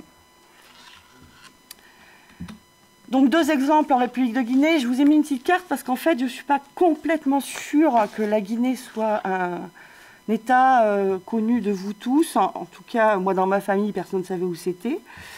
On m'a demandé si j'allais chez les papous, je cite. Donc, euh, c'est pas grave de ne pas savoir où est la Guinée. Voilà, donc je vous ai mis une petite carte.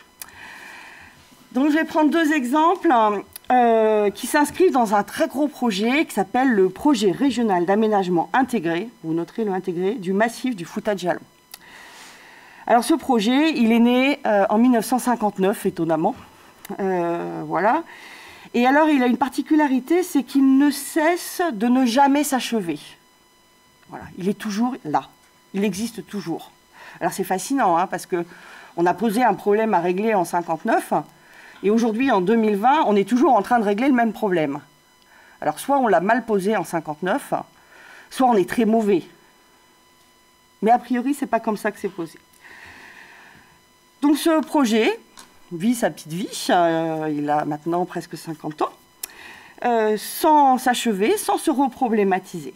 Alors, son point de départ, c'est quoi ben, C'est euh, une crise environnementale hein, accélérée, donc là je ne vais pas revenir, c'est exactement euh, ce que vous avez entendu, qui est décelée dès 1910 euh, par des administrateurs coloniaux qui annoncent la désertification, il faut entendre aridification du Fouta de Jalon, bientôt le désert sera là, hein, à nos portes. et puis il y a deux croyances qui vont fonder l'action c'est le fait que ce Fouta de Jalon serait le château d'eau de l'Afrique de l'Ouest, une espèce de grosse réserve d'eau. Alors tout ça parce qu'en fait, euh, il y a un certain nombre de grands fleuves d'Afrique de l'Ouest qui prennent leur source ici.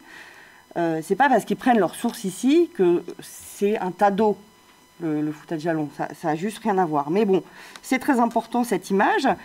Et puis la deuxième croyance, euh, qui est très forte, c'est que euh, eh bien, euh, il aurait été couvert, ce foutage jalon, d'une forêt primaire magnifique euh, qui a disparu, dont il ne reste plus que quelques lambeaux, que quelques vestiges, qu'il faut impérativement protéger. Alors évidemment, les responsables de la destruction de cette magnifique forêt primaire, potentielle, j'insiste, bah, ce sont les agropasteurs, hein, avec leurs pratiques à la fois euh, pastorale, le surpâturage, et puis à la fois agricole, la défriche brûlée. Donc 50 euh, ans d'âge pour mon petit projet. et un diagnostic. Alors, qu'est-ce qu'il nous dit ce diagnostic? Il nous dit bon, ben voilà, il y a cette forêt dense qui a disparu. Et à la place, regardez bien ce qui s'est mis en ce ce qui s'est développé, c'est ce qu'on appelle le boal. Alors, le boal, c'est ça? Vous noterez, en plus, il y a des bœufs dessus, donc c'est très pédagogique. Hein. Le bœuf a, créé le bowal. Euh, c'est le bowal. Alors, le bowal, c'est quoi? C'est une cuirasse bauxitique ou de fer hein, qui peut faire entre 30 euh, ou 200 mètres d'épaisseur. Donc, vous voyez, un truc euh, quand même assez costaud. donc, c'est le bowal, créé par les pratiques agro-pastorales. Et donc, il faut que tout ça s'arrête. Il faut mesurer cette érosion qui emporte les sols qui autrefois couvraient ce boal et qui autrefois encore portaient la forêt. Donc on va mesurer, on va mesurer l'érosion. Et alors pour mesurer l'érosion, on va faire appel à un truc assez bizarre, une équation, parce que ça c'est scientifique, ça, c'est convaincant. Une équation qui s'appelle l'équation de Wishmeyer. Je, peux vous la décomposer, mais franchement, euh, je pense que vous pouvez l'oublier aussi, mais c'est juste pour vous donner la dimension euh, sérieuse du truc. Euh, une équation, sauf que cette équation qu'on utilise ici sur, des, sur un espace de moyenne montagne, hein, où il y a beaucoup de pentes, etc. Alors évidemment, là, je ne vous montre pas une pente, mais faites-moi confiance pour le coup. Ben, cette équation, elle a été pensée pour mesurer de l'érosion sur des zones de plaine, parfaitement planes. Donc évidemment, les chiffres qu'elle va produire sont euh, assez hallucinants, hein, puisqu'on parle de 20, 30 mètres de sol qui partiraient tous les ans. Alors moi, ça, m'inquiète, parce que si depuis 1910, c'est 20, 30 mètres de sol qui partent tous les ans, en 2020, euh, je ne comprends pas comment on peut continuer à écrire ça. Alors je vous ai mis une petite citation. Ça, c'est un hommage euh, à la fois à Xavier Kella et à Marie Mella qui nous a rejoints. parce que moi, j'ai travaillé sur la Guinée, Xavier a travaillé euh, euh, sur Madagascar et, Marie a travaillé euh, sur le, Vietnam. Et en fait, on s'est rendu compte que, que l'on soit n'importe où dans une de nos anciennes colonies, en fait, on dit la même chose. Et donc, vous avez ici une citation de Chevalier, donc, qui s'intéresse hein, dans un ouvrage qu'il écrit sur la végétation à Madagascar, qui dit Une dénudation absolue semblable à celle des plateaux de l'Imérina et du Betsileo s'observe dans la moyenne et dans la haute région du Tonkin sur les plateaux du Fouta de Jalon. Cette dénudation a partout les mêmes causes, donc vous avez compris, hein, les populations locales, et partout les mêmes effets en sont, la conséquence. Les remèdes à appliquer sont aussi partout les mêmes. Donc ça va être très pratique, parce que figurez-vous qu'on soit n'importe où dans le monde, du moment qu'on est dans une ancienne colonie française, on va faire la même chose. Très très efficace. Alors, qu'est-ce qu'on fait? Comment est-ce qu'on lutte contre l'érosion? Comment ça marche? Alors ça, c'est mon projet préféré. C'est mon projet préféré parce que on mobilise un dispositif technique qui s'appelle les 2001. Alors on fait construire par les populations locales contre rémunération, hein, quand même, euh, des 2001. Donc ils ramassent des cailloux de bauxite et puis ils font ces, demi-cercles euh, qu'ils posent comme ça sur des hectares tout au long euh, d'un bassin versant. Euh, et ces 2001 ont pour euh, objectif, petit 1, de bloquer le ruissellement sur la cuirasse pour favoriser l'infiltration de l'eau dans la cuirasse et augmenter au passage le débit de la source de la Gambie que vous voyez derrière moi. Deuxième chose, encore plus idéalisée,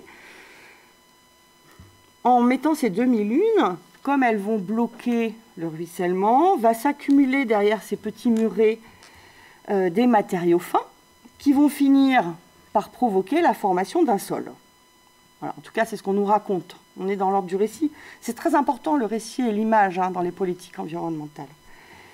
Et puis troisième chose, et eh ben après, une fois qu'on aura un sol, on va pouvoir planter des arbres et reconstituer cette magnifique forêt qui a disparu qui, euh, et, euh, qui, a été détruite euh, malencontreusement par des pratiques inadaptées et irrationnelles.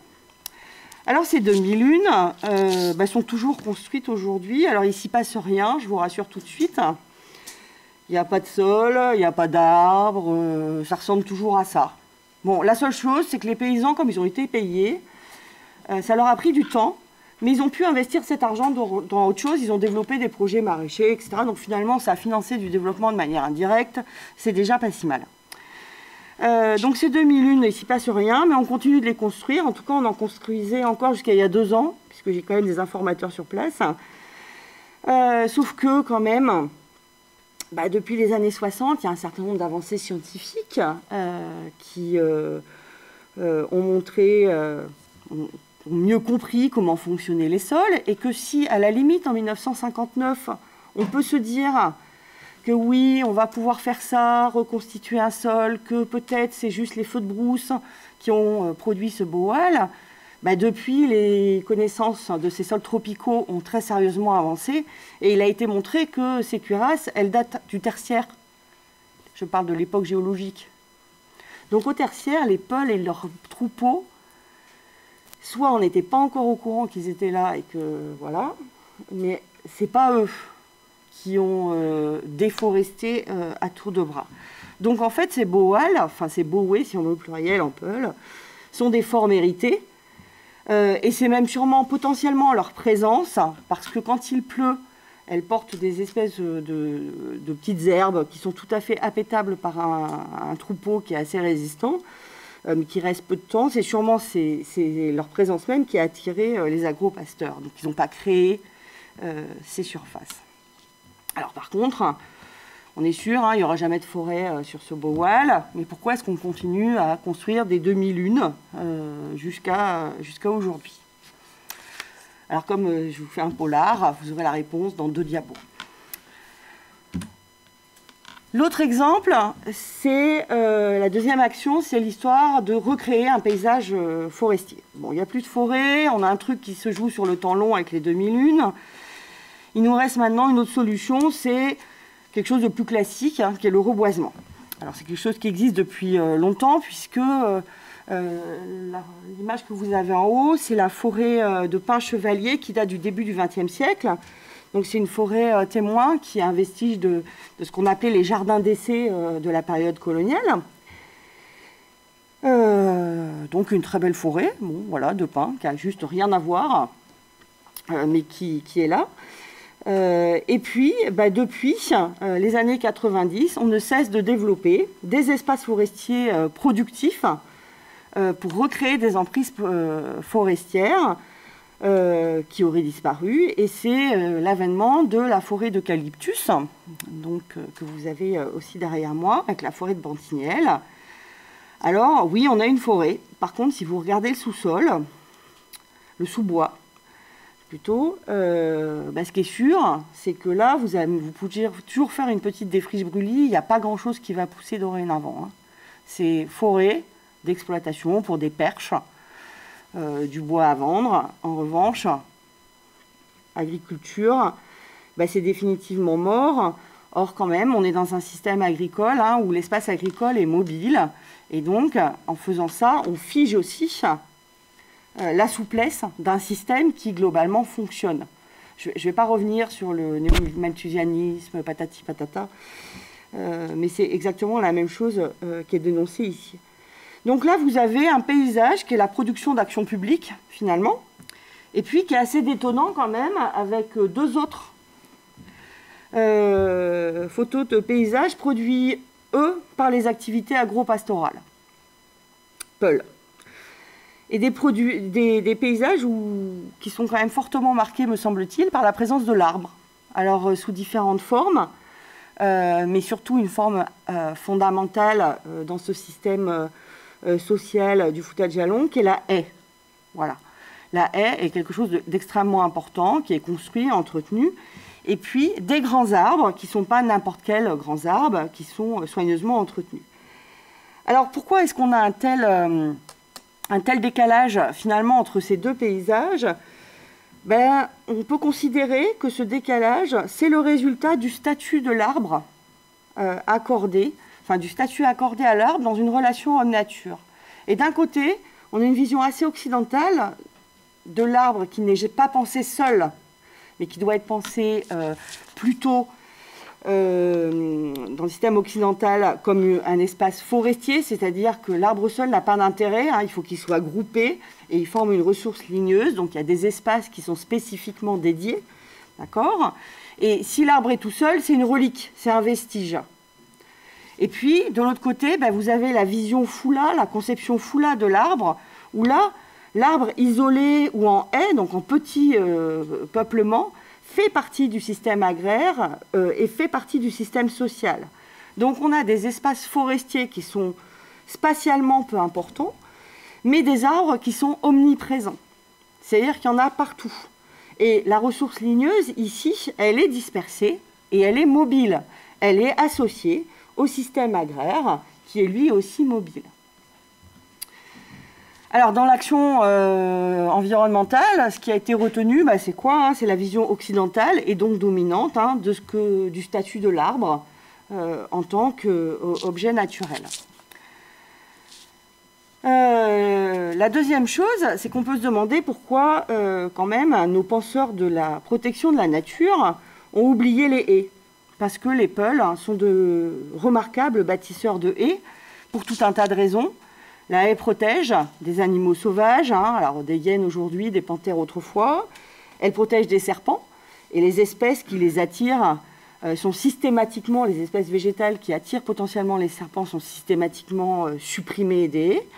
Elle protège des coups de vent, des pluies, euh, notamment des tornades de début de saison des pluies. Elle protège des feux et donc on met aussi en première ligne des, espèces pyrophiles hein, sur la bordure euh, extérieure pour éviter que le feu ne rentre facilement dans les concessions. Et puis cette haie, elle est source d'innovation, c'est-à-dire qu'il y a énormément de tests qui sont faits parce que euh, les peuls sont des grands voyageurs et qu'ils vont regarder aussi ce qui se fait ailleurs et ils ramènent des trucs, ils essayent, ils bouturent, ils voient si ça marche, si c'est intéressant, si c'est productif. Et on va trouver des espèces aussi fourragères qui peuvent apporter du complément, euh, etc. Et puis dernière chose, c'est que la haie, euh, elle symbolise un lien avec l'extérieur. C'est une frontière qui protège des agressions euh, venues du monde de l'ouvert, venues du monde des bovins. Elle protège des agressions venues du monde naturel, le vent, l'eau, etc. Et puis elle protège des djinns, des petits diables qui parcourent la brousse et qui l'animent, cette brousse, qui ne sont pas tous agressifs ou désagréables, mais enfin bon, c'est quand même mieux s'ils rentrent pas, quoi. Voilà. Donc la, haie, c'est aussi le cercle protecteur, on pourrait dire le cercle des haies. Hein. Euh, qui, protège contre un monde un peu magique, qui est considéré euh, hostile ou tout en moins susceptible de l'être. Et donc, elle va délimiter une sorte de territoire protégé de l'invisible. Alors aujourd'hui, bah, que prône l'action publique à la place des haies? À votre avis? Bah, Le barbelé. Parce que c'est quand même vachement efficace pour éviter que les bovins rentrent.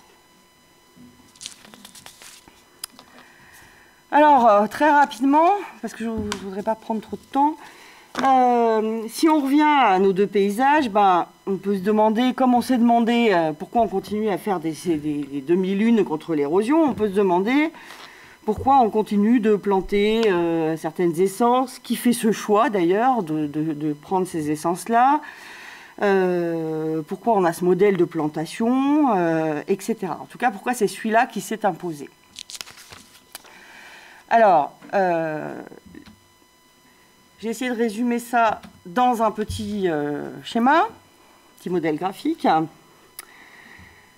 En fait, quand on s'intéresse à, comment se construit une action publique, on se rend compte, dans les exemples qui nous intéressent, qu'on a un diagnostic. Alors ce diagnostic, c'est ce que j'ai appelé le modèle. Le choix scientifique, c'est l'équation de Wishmeyer, là. Euh, cette, équation, elle a permis de déterminer des zones qui sont euh, à protéger, d'autres moins. Et puis, euh, on a mis en place un dispositif technique, sans retour d'expérience, hein, parce qu'on ne va quand même pas évaluer les effets de nos actions, il ne faudrait quand même pas pousser le bouchon trop loin. donc, hop, on a mis en place une stratégie pour agir. Alors, on peut se demander pourquoi cette stratégie pour agir, bah, elle est là, elle reste, elle perdure. Parce qu'autour du modèle, il y a ce qu'on appelle l'environnement du modèle. Alors l'environnement du modèle, c'est quoi bah, C'est des logiques internationales, d'accord D'institutions internationales. Et là, l'occurrence, c'est une forme de mise aux normes hein, euh, de l'environnement et de sa gestion euh, prônée par ces institutions internationales. Il y a aussi bah, des logiques euh, de l'expertise, c'est-à-dire que là, ce qui est quand même bien pratique, c'est qu'on a un petit kit qui permet de penser super vite le problème à régler, puisque de toute façon on applique des vieilles recettes. Donc on va chercher des textes des années 50. Euh, on a des choses qui existent pour agir. Donc on a le kit du prêt-à-penser la dégradation de l'environnement qui est euh, à disposition. Et puis il y a aussi des logiques économiques qui dans le cas de la Guinée ont été très importantes. C'est que en fait, euh, dans les années 90, la Guinée connaît, comme un certain nombre de pays africains, ce qu'on appelle une politique d'ajustement structurel portée par le Front monétaire international. Et il y a un deal qui est passé. Le deal, c'est que si elle fait des efforts en termes de gestion et de protection de l'environnement, on va alléger la vitesse et le poids de l'ajustement structurel. Donc, l'État guinéen va ouvrir son territoire pour que un certain nombre d'opérateurs, et ce n'est pas lui qui va porter hein, ses, politiques et ses actions, d'opérateurs viennent intervenir et le fouta de jalon va devenir un espèce de gâteau qui va se partager, être partagé entre la FAO, la coopération française, la coopération suisse, euh, l'Union européenne, euh, euh, les Américains, avec les Peace etc. Tout le monde se prend un petit bout du de jalon et tout le monde fait sa petite affaire. Mais une petite affaire qui rentre dans le modèle. Hein. Donc tout le monde fait son diagnostic, c'est le même. Et le seul qui fait un diagnostic détonnant et qui dit mais moi, en fait j'ai fait d'autres mesures d'érosion et je pense que ça ne marche pas, ben, celui-là on le sort. Donc on va l'éliminer purement et simplement. Et puis autour de l'environnement du modèle, il y a ce que j'ai appelé le tiers absent. Alors le tiers absent, bah, c'est les acteurs locaux et leurs connaissances, mais pas que. C'est aussi toutes ces connaissances scientifiques que j'ai un petit peu évoquées, que sciemment on ne prend pas en compte. Donc euh, qu'est-ce qu'on a? Bah, Finalement, euh, on a euh, un modèle d'action qui fonctionne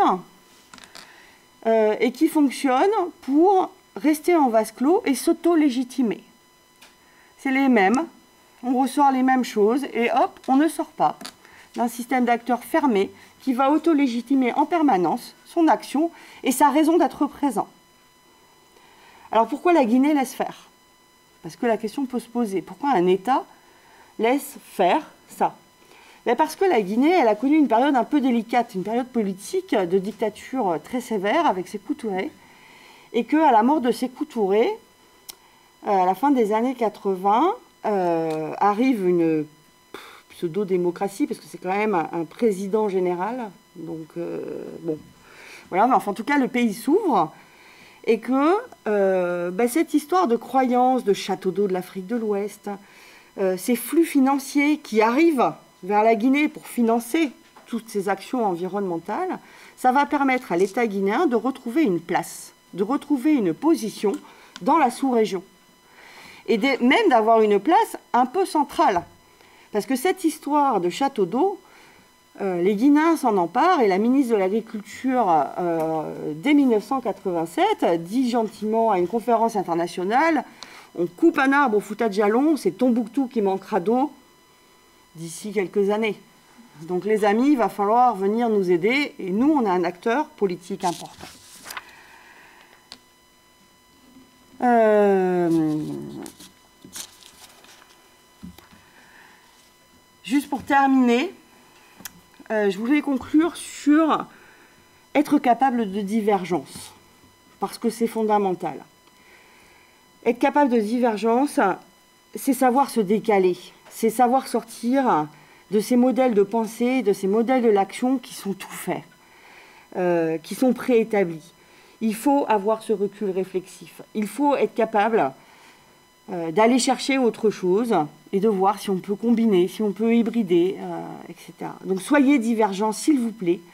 Ne constituez pas une future génération d'experts qui se contentent d'apprendre des façons d'agir avec des méthodes d'action qui reposent sur des techniques qui ont été pensées par d'autres.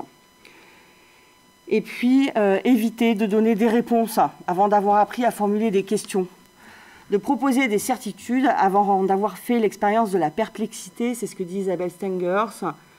Là aussi, euh, avant de dire ce qu'il faut faire, commençons par bien penser le problème auquel on doit réfléchir et, si possible, en allant chercher l'ensemble des personnes qui sont concernées.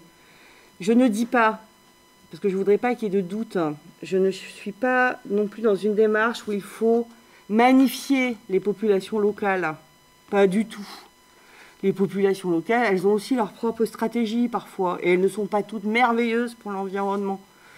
Simplement, de la même manière qu'il ne faut pas les magnifier, on n'a pas non plus à ignorer tranquillement tout un tas de connaissances et de savoirs empiriques qui ont leur utilité.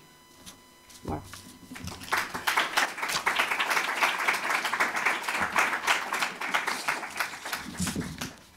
Merci beaucoup.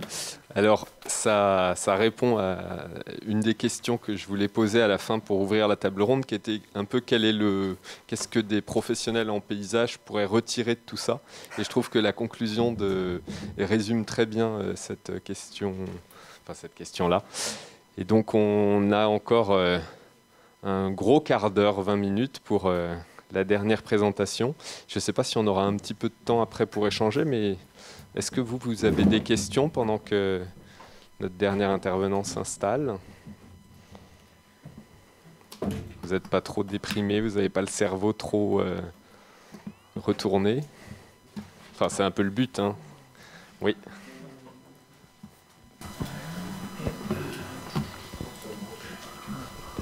Allô, allô?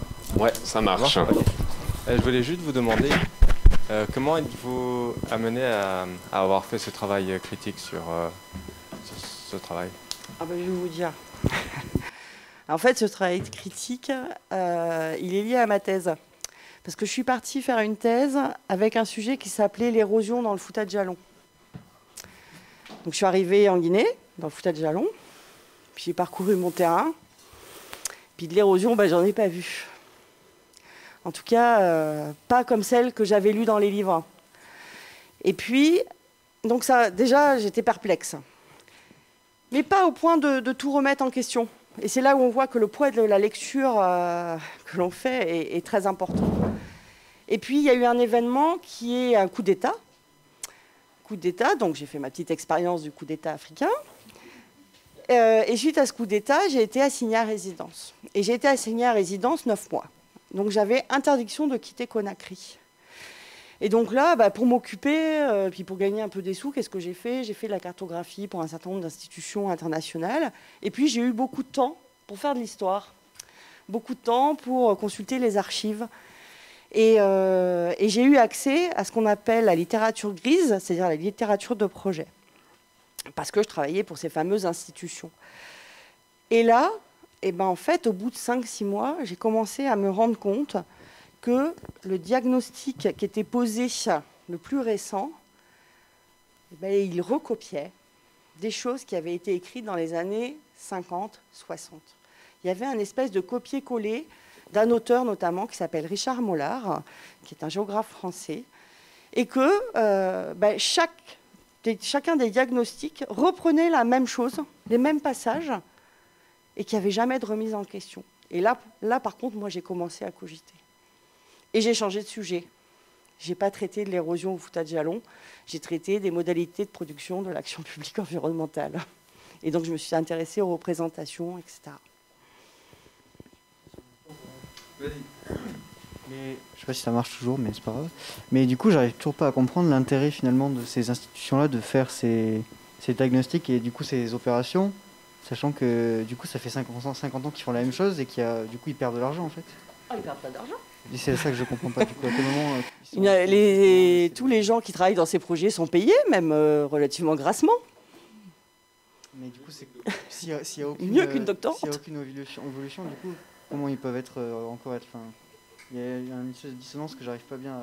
Ben, moi non plus. Bah si. alors, c'est le, le, fait de, de, garder une légitimité à être présent et à exister en tant qu'expert. C'est-à-dire qu'il y a un moment donné, euh, si on dit euh, il n'y a pas d'érosion, il n'y a jamais eu de forêt, tout va bien, etc., il n'y a plus de projet de développement, il n'y a plus d'opérateurs de développement. Y a, voilà. Et c'est quand même des manières politiques aussi d'être présente. Il hein. ne faut pas, faut pas se leurrer. On peut rajouter aussi qu'aujourd'hui, le financement euh, par euh, la compensation carbone de la reforestation, c'est un financement énorme. Toutes les boîtes financent euh, Air France, plantent des arbres pour compenser ces voyages, etc. Donc il y a plein de sous qui rentrent. Et comme on sait très bien que les Africains dégradent l'environnement de toute manière, c'est des gens qui ne sont pas civilisés, dans ces milieux-là, c'est ce qu'on croit, et eh ben, c'est logique que la situation n'évolue pas en fait. Et puis c'est pas grave. Je suis d'accord avec les deux et moi je rajouterais d'être persuadés que l'Afrique est vierge, naturelle, sauvage. Ce pas des mauvais, les experts. Non, des mauvaises personnes. Ils sont persuadés, 2 plus 2 font 4, l'Afrique est dégradée, c'est pareil. moi, j'ai parlé avec des experts de l'UNESCO en leur montrant que leurs chiffres étaient faux. Et ils disaient, si, ils sont vrais. Ils disaient, c'est vous qui racontez n'importe quoi. Ils, ils sont persuadés. On a commencé la table ronde, mais on va peut-être laisser euh, Xavier quand même faire sa présentation et puis on, pourra finir cette discussion. Euh. Bah, je vais vous montrer un petit peu d'image. Moi, je, je, pense que ce que je vais vous montrer, ça va être assez complémentaire de, ce qui a pu être dit jusqu'à présent. Parce que, ben, je ne sais pas si c'est la surenchère, mais à, Madagascar, je crois que c'est peut-être encore pire. on, monte d'un cran encore. Alors, Madagascar, il y a des discours. là aussi, c'est pas le roi lion. je, je pars partie du discours euh, du, dessin animé Madagascar, où non seulement il n'y a pas de malgache, mais euh, on, vient mettre les, les, les, Big Five euh, à Madagascar, où il n'y a pas de où il n'y a, pas de grande faune. moi, je vais partir par exemple d'un document, je trouve assez emblématique, parce qu'en plus, c'est un, acteur qui, à travers son ONG et sa fondation, a une action importante à Madagascar. C'est un de ces euh, beaux livres sur les représentations aussi de la nature euh, dans le monde. Et là, c'est tiré d'un ouvrage de Yann Arthus Bertrand qui, décrivant Madagascar, avec une, une, photo à l'appui, nous dit effectivement ben, un peu la même chose, hein, que depuis des siècles, il y a des gens, euh, qui, euh, de vilains paysans qui pratiquent une agriculture sur brûlis dévastatrice. Alors Madagascar s'appelle le TAV.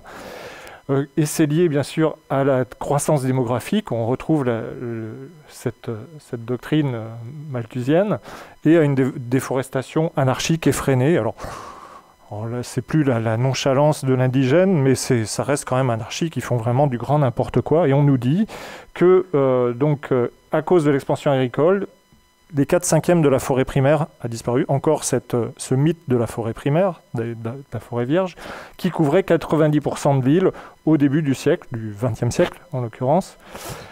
Et on nous montre une belle photo euh, qui est censée illustrer ça. Alors là, il y a déjà une grosse manipulation parce que la photo, elle est prise sur les hauts plateaux malgaches, sur des terres volcaniques qui correspondent pas du tout à, euh, à, des systèmes agricoles de défriche brûlis, mais on est sur d'agriculture intensive sur des, sur des sols volcaniques. Mais euh, passons. Enfin, là, c'est vraiment un, des discours catastrophistes qu'on peut euh, croiser dès qu'on voyage. Alors, si vous voyagez sur Air France, comme il y a des accords entre la, fondation Artus Bertrand, un Good Planet et Air France, vous avez, c'est le discours que vous avez dans le, magazine Air France. Si vous allez sur Wikipédia, français ou anglais, alors vous avez aussi la même manipulation. On nous dit que, hein, on nous dit fréquemment, enfin, on ne sait pas si c'est vrai, mais enfin on affirme que 80-90% de la forêt originelle a disparu. On nous montre là aussi une photo qui n'a rien à voir avec l'agriculture sur brûlis ou à la déforestation. Ce, sont des feux de brousse et c'est de la brousse, ce qu'à Madagascar on appelle la savouk, ce sont des arbres du voyageur. C'est des zones qui sont justement des, espèces pyrophiles, c'est pas tout, ça n'a rien à voir avec des zones de forêt. C'est de la totale déforestation. Donc ce mythe d'une île autrefois verte, couverte de forêt et aujourd'hui totalement dégradée, on le retrouve à longueur de, sites web et dès que vous tapez euh, Madagascar, déforestation, vous tombez sur des choses comme ça. Alors, ce qui est plus inquiétant, c'est qu'on trouve ça aussi dans des documents officiels. sur un, un, texte de la FAO des années 2000, on trouve la même chose bien sûr, sur les, agences de, développement, comme l'agence euh, états-unienne, on retrouve cette idée de paradis perdu, avec aussi l'imagerie satellitaire qui nous montre Madagascar qui saigne de, sa, de son érosion et de sa déforestation. euh, effectivement, il y, a, un fleuve sur la côte euh, nord-ouest de Madagascar qui, chaque année, à la saison des pluies, charrie des eaux rouges. On y reviendra, ça a son importance dans la construction de ce mythe. Et puis, des cartes. On nous montre des cartes sur ce qui reste de la forêt primaire malgache. Ça, c'est ce qu'on trouve euh, dans les années 1990 à Madagascar. On trouve aussi, alors, bien sûr, dans le discours actuel, c'est plus la pauvreté hein, qui est considérée comme responsable de la dégradation. Mais on trouve ça, effectivement, ça alimente tous les, euh, documents scientifiques.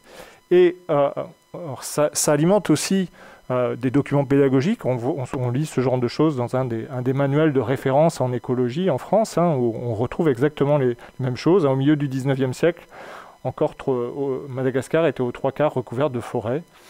Et puis il y a des choses qui ont été faites pour les, écoles. Un, discours très fort.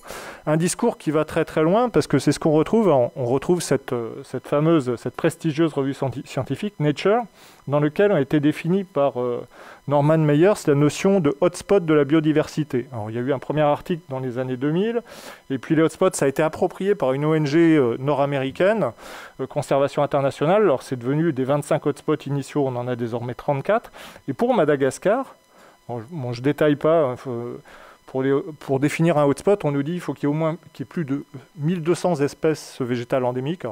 À, Madagascar, il y a plus de 10 000 espèces végétales endémiques, donc pas de problème, et, que 70% de la surface forestière initiale a été dégradée. Et on verra que ça, c'est un, des enjeux.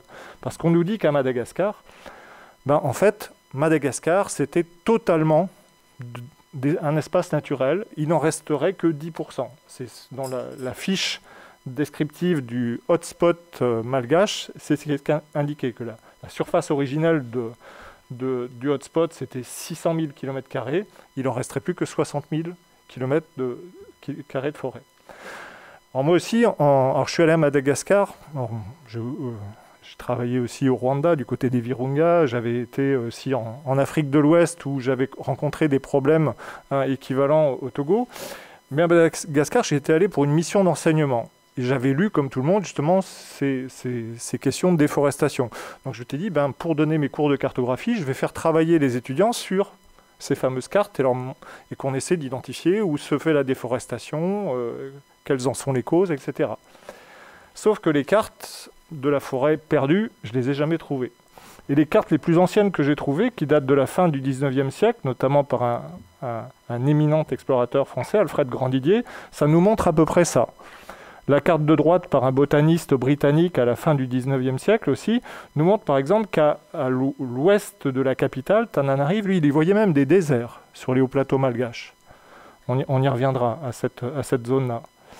Quand on regarde les chiffres, à l'époque coloniale, les chiffres qui sont avancés ne cessent de montrer une dégradation. Alors, entre parenthèses, on voit qu'à la fin du 19e siècle, les premiers administrateurs forestiers français identifiaient à Madagascar 12 millions d'hectares de forêt, à peu près 20% de la superficie de l'île.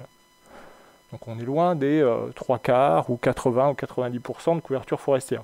Et durant la période coloniale, les administrateurs forestiers et les acteurs justement qui vont légitimer l'appropriation euh, des terres n'ont de cesse de, juste, de, proposer des chiffres qui vont être, qui sont censés exprimer cette dégradation.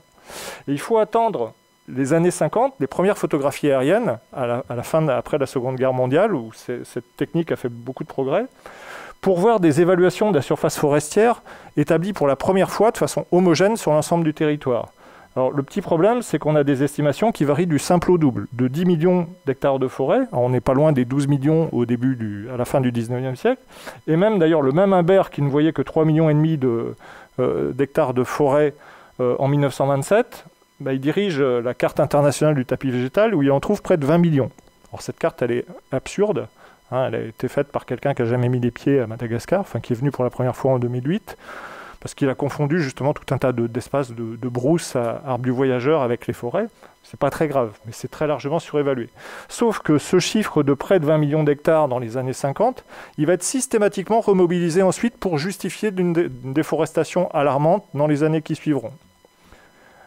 Je, passe hein, sur le, détail, hein, juste pour vous montrer qu'on peut, si on fait son marché à partir de, chiffres tout à fait sérieux. Tous ces chiffres ont été publiés dans des revues scientifiques. Donc on peut tout aussi bien dire qu'à Madagascar, depuis les années 50, il y a une déforestation catastrophique, au contraire que ça ne bouge pas, ou même, avec beaucoup de mauvaise foi, on pourrait dire que la surface forestière, elle augmente.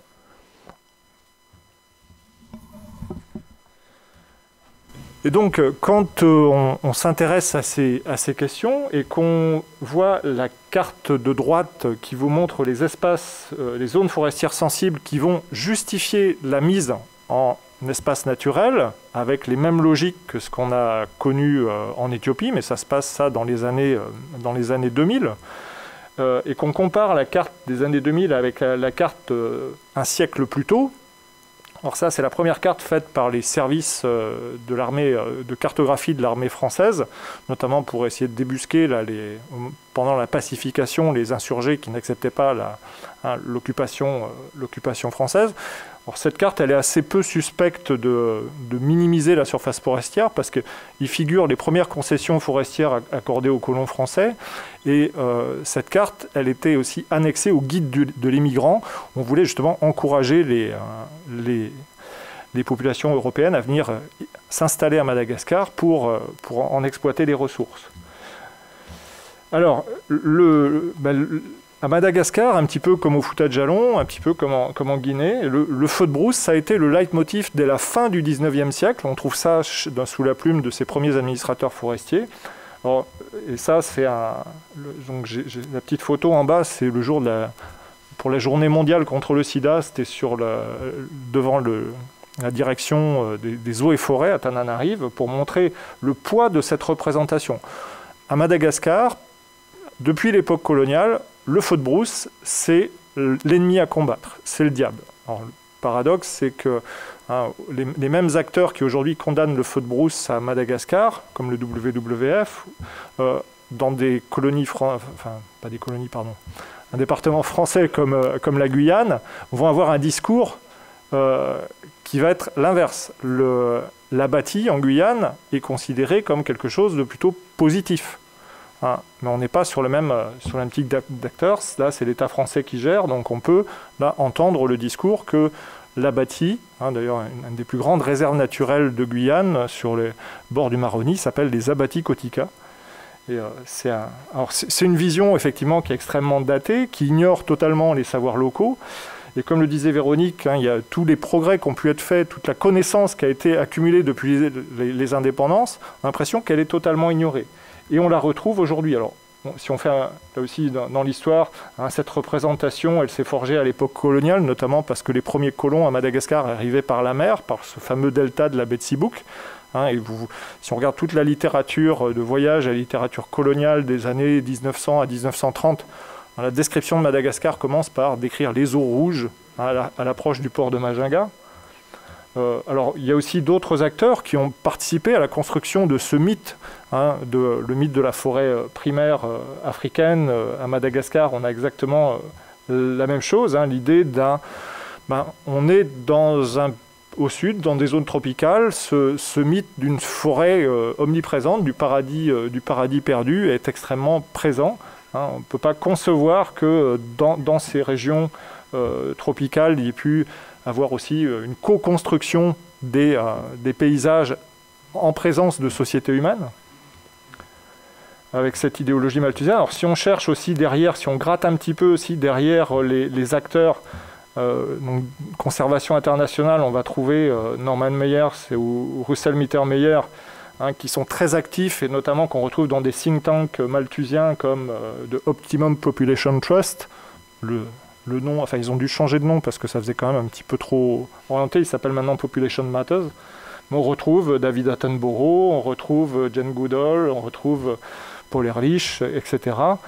Euh, donc il y a aussi, alors, euh, il n'y a pas forcément besoin d'aller chercher la dendrochronologie ou la, palynologie, il suffit des fois de regarder un petit peu les cartes et de déconstruire les cartes pour montrer, enfin la supercherie, elle est assez facile à, à démontrer, parce qu'on voit, effectivement, on nous produit des cartes, mais ces cartes, souvent, elles sont extrêmement manipulatrices. Elles comparent des choses qui sont absolument pas comparables. Je vous avais montré tout à l'heure la carte de, enfin, les chiffres de 1950 là, de cette évaluation complètement exagérée de 20 millions d'hectares. Ben, cette, référence, elle est systématiquement reprise aujourd'hui dans tous les articles qui parlent de la déforestation Madagascar où on prend ces 20 millions d'hectares de forêt qui sont une évaluation totalement euh, surestimée par rapport aux 12 millions, je vous rappelle, au début du XXe siècle. Euh, et à partir de ça, on construit un récit de la, déforestation en utilisant des images satellitaires, mais en allant faire son marché dans, celles, dans des images qui ne sont pas prises à, partir des mêmes, euh, des mêmes satellites, à partir des, aux, mêmes saisons. On peut faire un, peu de bricolage dans tout ça, et ça fabrique, ben, ça fabrique, ça consolide ce discours dominant. Alors ça peut aller très très loin. Alors on a des cartographies aussi qui se présentent comme des cartographies d'évolution du couvert forestier, mais si on regarde un petit peu, on voit que c'est uniquement à sens unique qu'on n'analyse que la déforestation. La progression de la forêt, elle est considérée comme une erreur. C'est des choix méthodologiques. On va chercher ces, cartes anciennes. Alors, là où ça va beaucoup plus loin, hein, j'ai trouvé la, fameuse carte de la forêt perdue, je l'ai trouvée ici.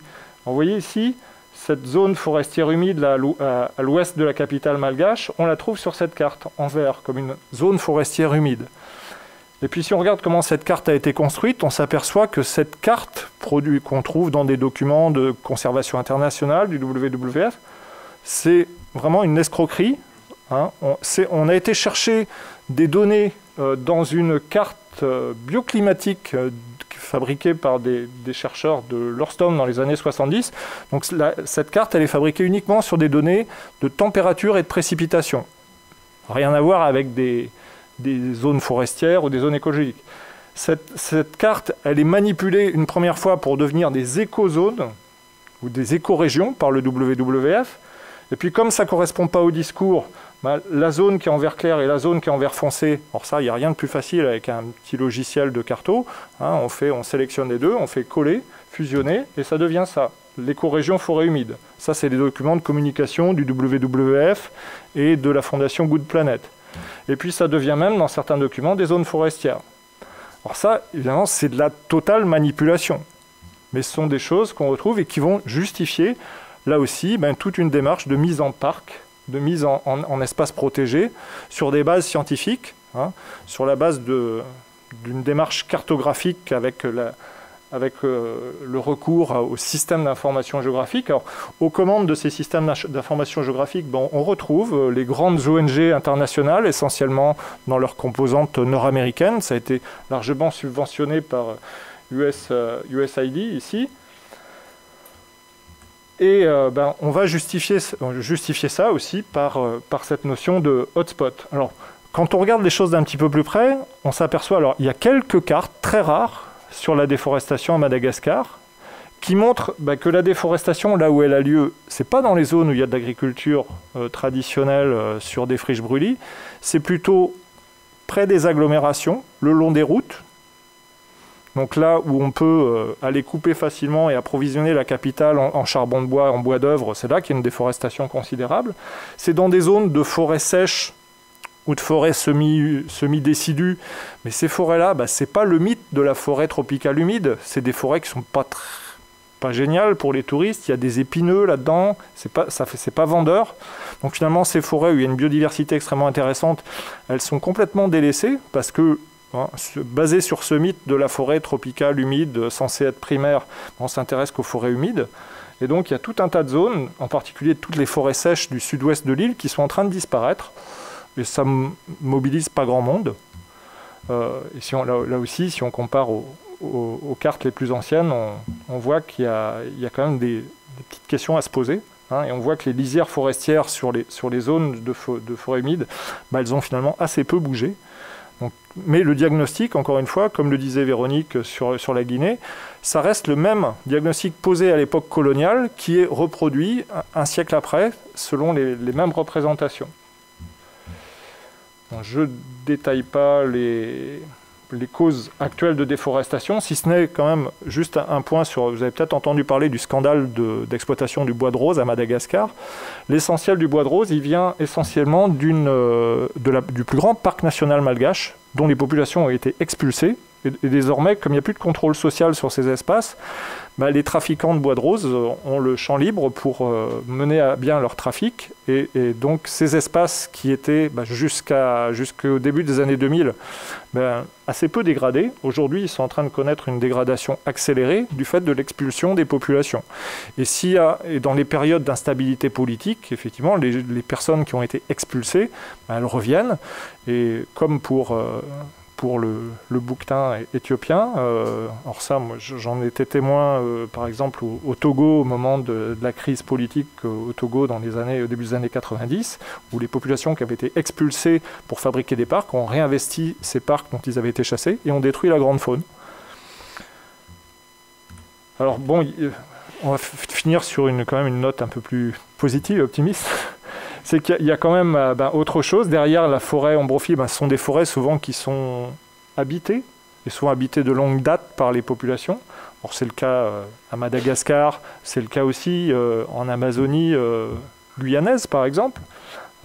D'autre part, la régénération forestière, ben, c'est quelque chose qui existe et on ferait bien peut-être avant de dénoncer par principe, sans avoir regardé, comme le disait Véronique, les pratiques, ben, de regarder peut-être les zones là où la forêt se régénère, qu'est-ce qui permet sa régénération Si tant est que quand on parle de reboisement, que ces zones n'aient jamais été boisées.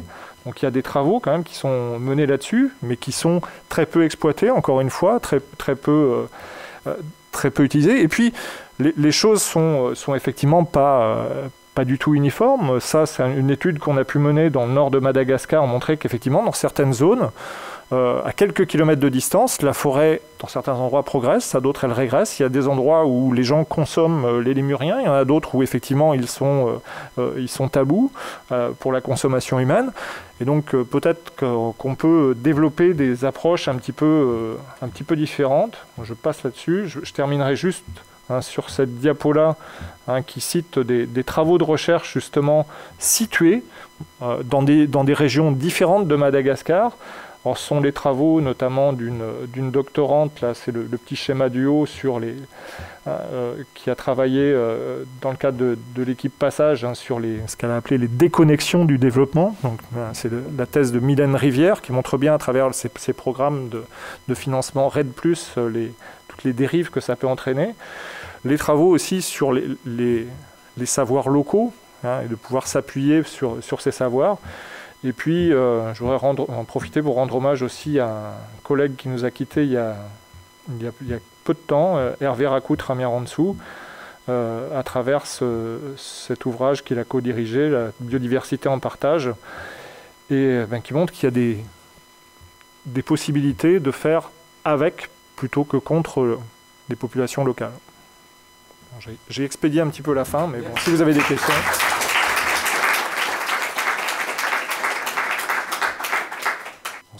Ça a été, peut-être expéditif. Hein. Euh. Allô, merci, merci beaucoup. Euh, mais ça a complété très bien euh, tout ce qu'on a vu jusqu'à maintenant, et puis il faudra qu'on te réinvite pour compléter peut-être l'année prochaine. C'est Rémi qui verra ça. Est-ce que vous avez des questions dans la salle? Oui, il y a une question au fond. Le micro.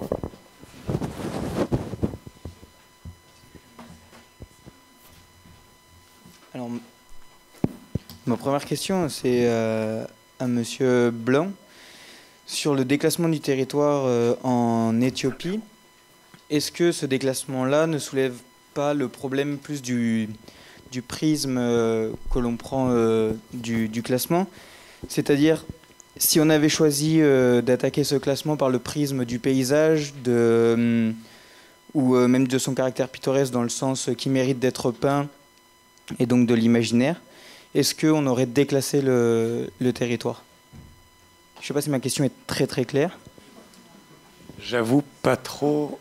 C'est sûrement moi qui ai du mal. Ce que tu veux dire, c'est si on n'avait pas pris le critère naturel pour classer le parc, bah, mais le critère culturel? Ce que j'ai compris, c'est que hmm, on a pris le, critère plus de l'exploitation agricole du territoire pour qu'il soit classé. Étant donné que cette activité-là, elle a dégradé le, territoire, il a été déclassé, non? C'est ou j'ai peut-être mal compris, hein, mais. Ce qui a été pris comme critère, c'est le critère naturel, paysage spectaculaire. Mais le problème, c'est qu'on dit que l'UNESCO dit que l'agriculture a dégradé le critère naturel. La valeur universelle, c'est la nature, et la menace, c'est l'agriculture. D'accord, très bien. Bon, mais j'avais mal compris alors. Ah, mais non, c'est sûr, bah, ça veut dire que c'est moi qui ai mal expliqué.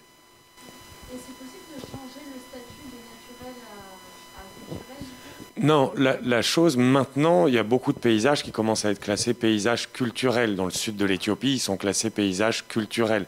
Mais il y a deux choses, c'est que, un, et il y a ça maintenant en Tanzanie, au Kenya aussi, beaucoup de parcs sont classés paysages culturels. Mais un, tous les parcs qui sont classés naturels restent enfermés dans cette logique. Et de deux, paysages culturels, pour l'avoir vu moi dans le sud de l'Éthiopie, dans la vallée de l'Omo. Paysage culturel, ce que ça donne, si vous le faites un jour d'aller visiter, arriver deux heures avant euh, le bus des touristes. Vous voyez les gens en jean, t-shirt. Et puis ensuite dire, non, il y a le bus qui arrive dans une demi-heure, on enlève le t-shirt, on enlève le pantalon, on met la robe, on se met de la peinture. Ils disent oui, non, ils veulent traditionnel, traditionnel. Les gens arrivent, un dollar la photo, traditionnel, et puis le bus repart, on remet le jean, on remet le t-shirt, la journée est faite. On peut en rire. Mais le gouvernement, par contre, dit on ne vous donnera pas d'électricité et on n'amènera pas d'école, parce que sinon les touristes ne viendront pas. Paysage culturel, patrimoine mondial. D'autres questions? Remarques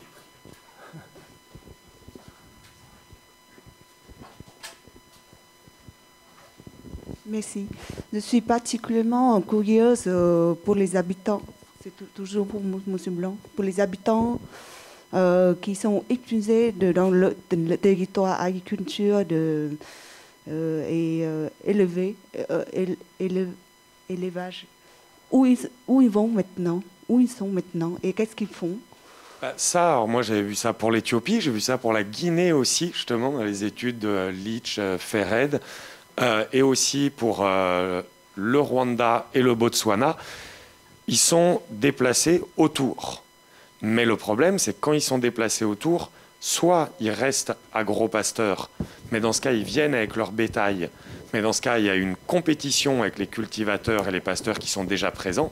Donc, de toutes les manières, ils s'appauvrissent.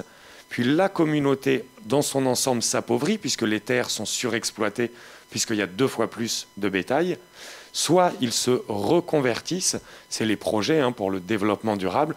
Euh, ben, par exemple, le WWF, alors ils le font en Asie, WWF donne beaucoup de formations de reconversion à euh, la micro-industrie. Donc, euh, d'être boulanger, d'être maçon, etc. Donc, ils sont convertis à des petits boulots précaires en ville et généralement installés en périphérie des villes. Ça, si jamais ça vous intéresse, c'est l'ancien président des programmes de déplacement de population à la Banque mondiale, Michael Cernea, qui a du coup fait une thèse en anthropologie en se disant c'est pas possible, le dit lui-même, les populations, il a étudié 150 projets de développement dans le monde. Moi, du coup, j'ai lu son truc, j'ai essayé de le raconter un peu en résumé dans le bouquin. Les populations finissent toujours plus pauvres après l'arrivée du projet de développement dans leur vie. Voilà. Pour compléter, peut-être souvent autour de ces, de ces espaces protégés, il y a ces fameuses zones tampons. Là aussi, on fait appel à la cartographie, on met des zones tampons euh, de façon totalement arbitraire, en mettant une distance type. Euh, et à l'intérieur de ces zones tampons, ou en périphérie, on va créer des, des activités génératrices de revenus. Ça, c'est le terme consacré. Euh, c'est pas très diversifié. En général, on va proposer des, poulaillers. On va proposer aux paysans de faire un petit peu de pisciculture, par exemple, dans les rizières, ou on va proposer d'améliorer les, les pratiques, c'est-à-dire en passant à des systèmes beaucoup plus intensifs, donc consommateurs d'engrais, euh, et sur le modèle de la monoculture ou de la spécialisation des cultures.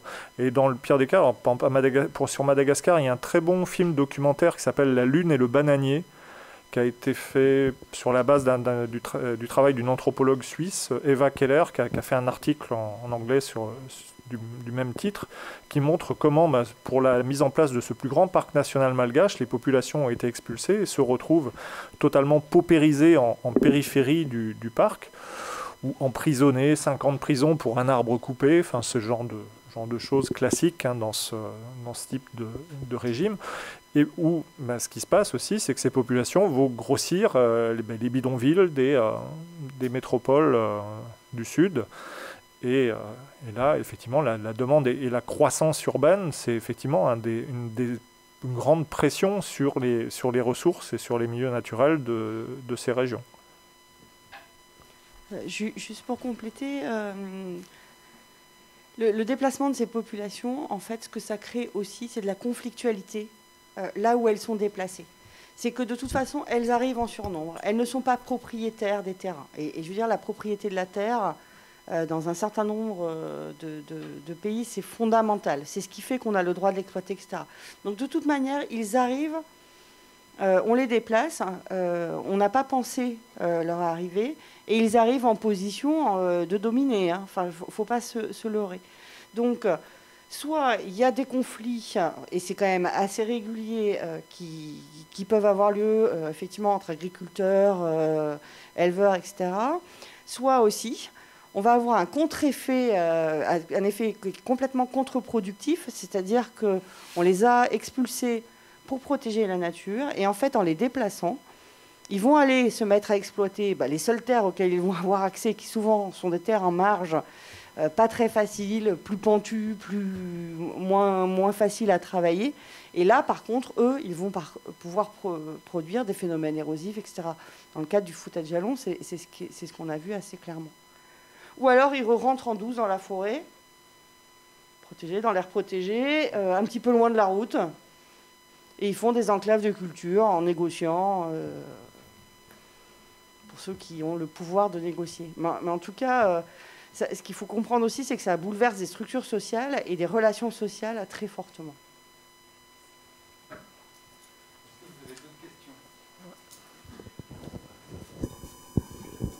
Moi je reviens un peu sur. Euh, je sais pas si ça marche, ça va. du coup j'ai perdu ma question, mais. Euh...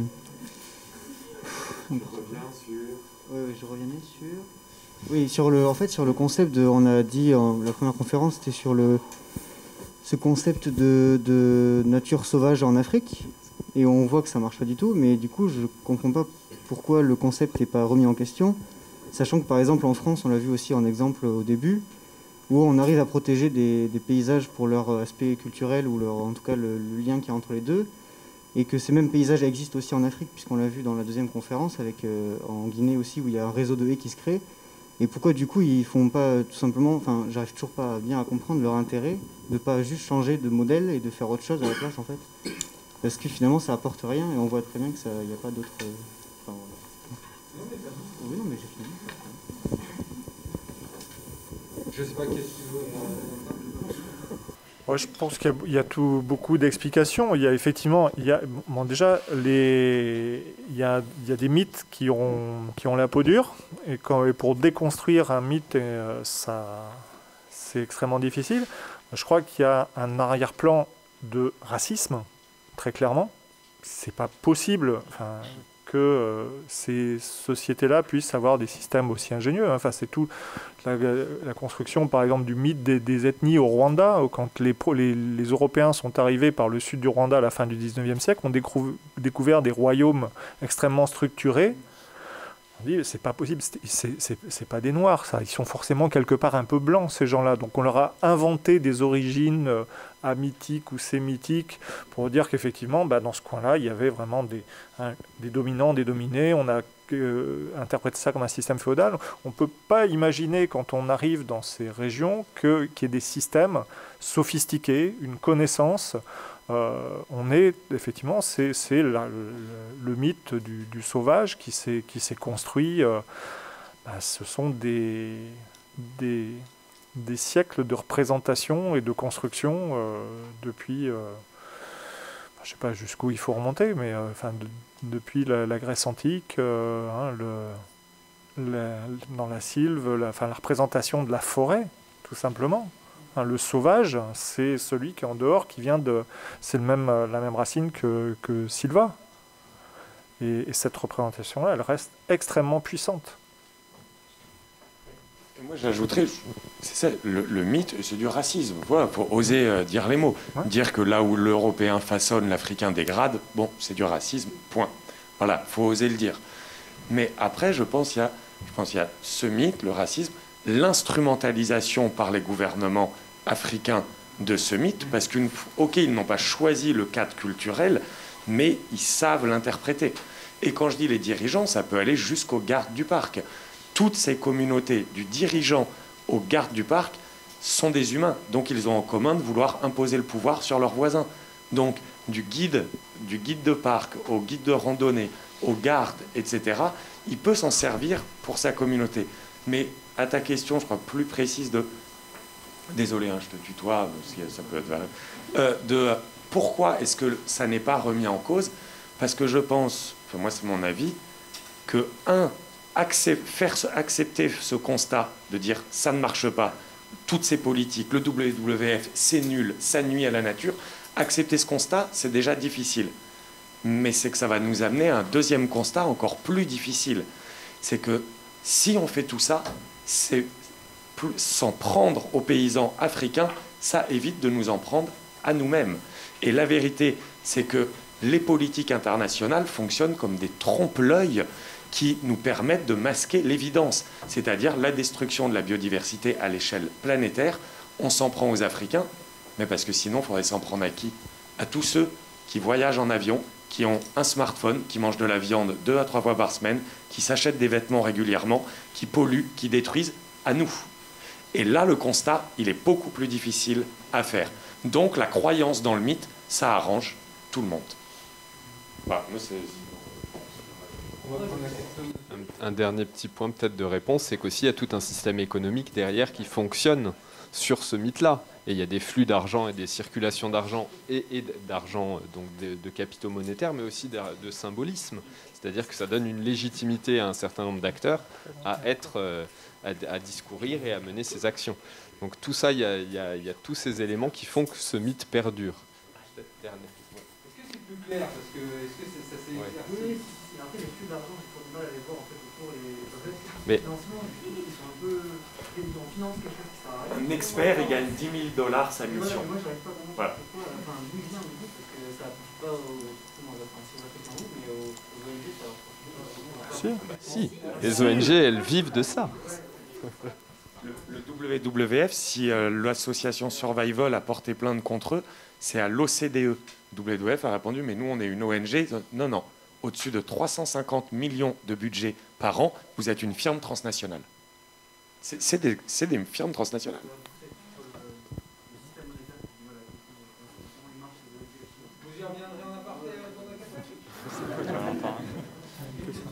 Bonsoir. Ma question s'adresse plutôt à Guillaume Blanc.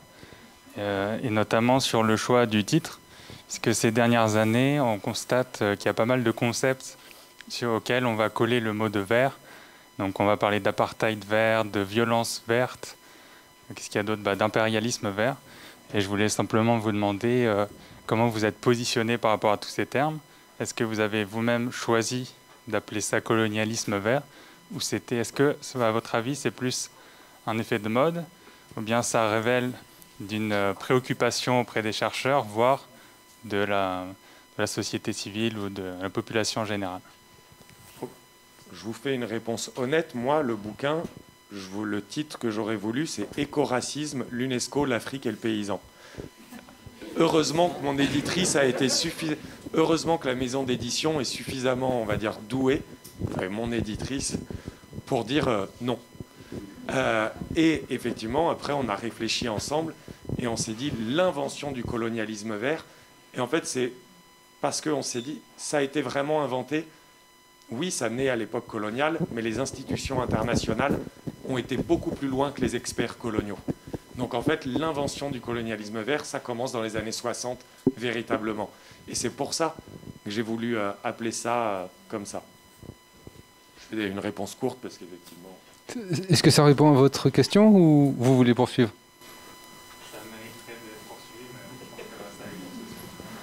Ok. D'autres questions? On s'arrête dans 5 minutes. Hein, Bon, bah, pourtant, c'est une question un peu longue aussi, je pense. Mais du coup, au travers de vos recherches et donc de tout ce que vous avez développé sur ce sujet-là, qu'est-ce que vous pensez de l'action internationale? Comment est-ce qu'elle va se structurer? Est-ce qu'il y a des recherches qui sont faites sur les problématiques qui nous touchent aujourd'hui, euh, enfin, de lesquelles on entend tous parler, pour la déforestation pour l'île de Palme à Java, au Bornéo, ou pareil pour la culture du soja en Amazonie? Euh, Est-ce qu'il y a des solutions qui sont envisagées? Qu'est-ce que vous en pensez? Je sais pas, c'est assez ouvert comme question, mais. Alors, des, solutions, je ne sais pas. Enfin, effectivement, en, tant que chercheur en sciences sociales, je crois qu'on euh, on n'est pas là pour donner des réponses. On est là pour surtout essayer de, déjà de, poser des questions et de poser des questions face à des choses qui dysfonctionnent et qu'on constate. et, ça alors je pense que alors parmi peut-être les éléments de, sur lesquels on peut réfléchir, c'est déjà dans la façon dont on définit effectivement nos objets. Quand on parle d'une forêt, par exemple, la définition de la FAO nous dit que ce sont euh, des arbres qui atteignent plus de 5 mètres à maturité. Effectivement, dans la classification FAO, on y met des EVA, on y met des palmiers à huile, qui ne sont pourtant pas des arbres. On y met des plantations de, euh, de, de pins maritimes. Alors, est-ce que ce sont des forêts, ça? Des plantations industrielles monospécifiques d'arbres, des cultures d'arbres qui vont fonctionner, euh, je sais pas, 25-30 ans pour le pain maritime, par exemple sur le massif euh, landais? Euh, on peut déjà se poser la question dans la façon dont on choisit ces termes, ces définitions, et effectivement qu'on réfléchisse aux, effets. moi, je pense que mon rôle bah, d'enseignant-chercheur en, sciences sociales, c'est bah, c'est de transmettre justement ces outils euh, d'analyse, de compréhension à des gens qui vont être des acteurs, des, citoyens, des futurs, euh, chercheurs. Alors ça me pose des questions quand on me sollicite en tant qu'expert ou quand on me parle la question d'expertise, effectivement, où l'expert il doit donner des réponses, où il doit donner un avis. Moi, j'ai pas forcément d'avis. Je pense qu'il y a de la délibération euh, politique à avoir. C'est de remettre, à mon avis, ce qui est important, c'est que ces aspects-là, c'est pas de la technique, c'est n'est pas les cartes qui vont donner les solutions, mais c'est la capacité à analyser et à remettre, à repolitiser ces questions. Euh, et je pense que c'est peut-être là-dedans qu'il faut aller chercher, euh, chercher des réponses.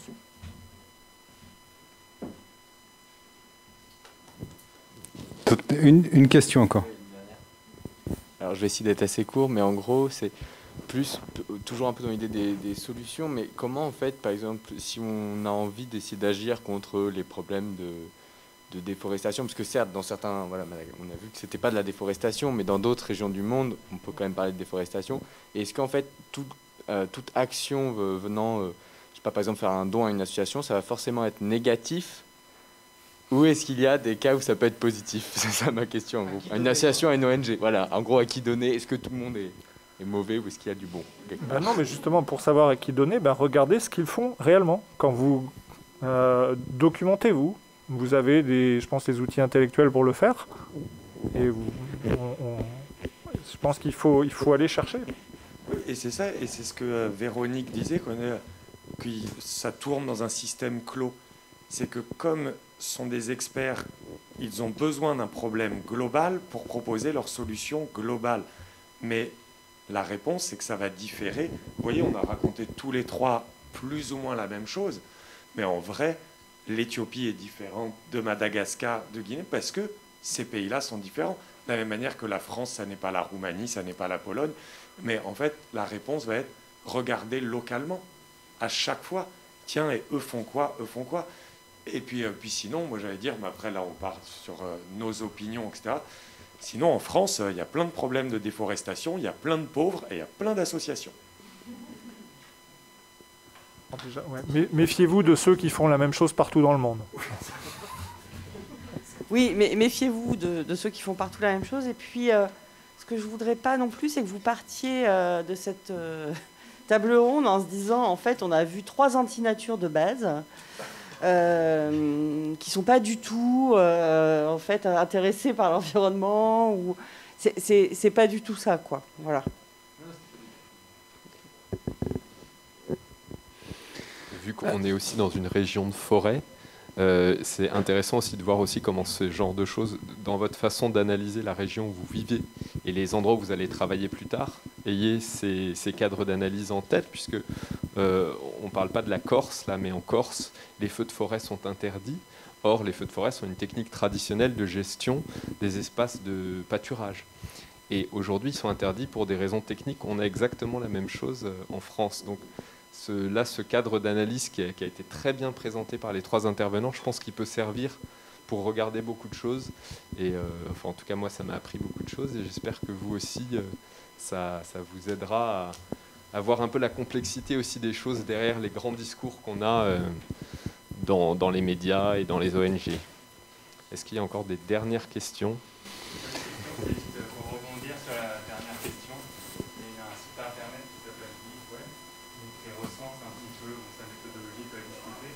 réfléchi à l'utilité des dons qu'on fait à différentes associations. Et la conclusion qu'il donne, c'est que c'est plutôt généralement les ONG médicales qui ne sont pas les plus connues, où le, ce qu'on donne, ça va directement aux populations. Voilà, qui doit être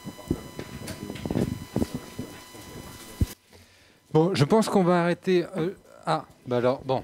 bah Alors, alors on n'arrête pas si vous, êtes, euh, si vous en voulez encore. Moi, c'était c'était pour vous. Hein. Et puis, on va devoir vous libérer un jour. hein, vous avez des familles. Je, voulais juste vous demander s'il existait des organisations du coup locales euh, qui mettaient en place des actions pour la protection environnementale, mais qui soient pas des ONG comme, enfin des trucs du international. Encore une fois, là, je pense qu'il n'y a, pas de bonne réponse parce qu'il y a, d'une part, il y a beaucoup de, pays où, pour pouvoir intervenir, les grandes organisations internationales et associations internationales ont besoin de relais euh, locaux et notamment et d'organisations locales qui sont fabriquées de toutes pièces souvent pour être le bras armé local à la caution euh, locale des, des grandes organisations.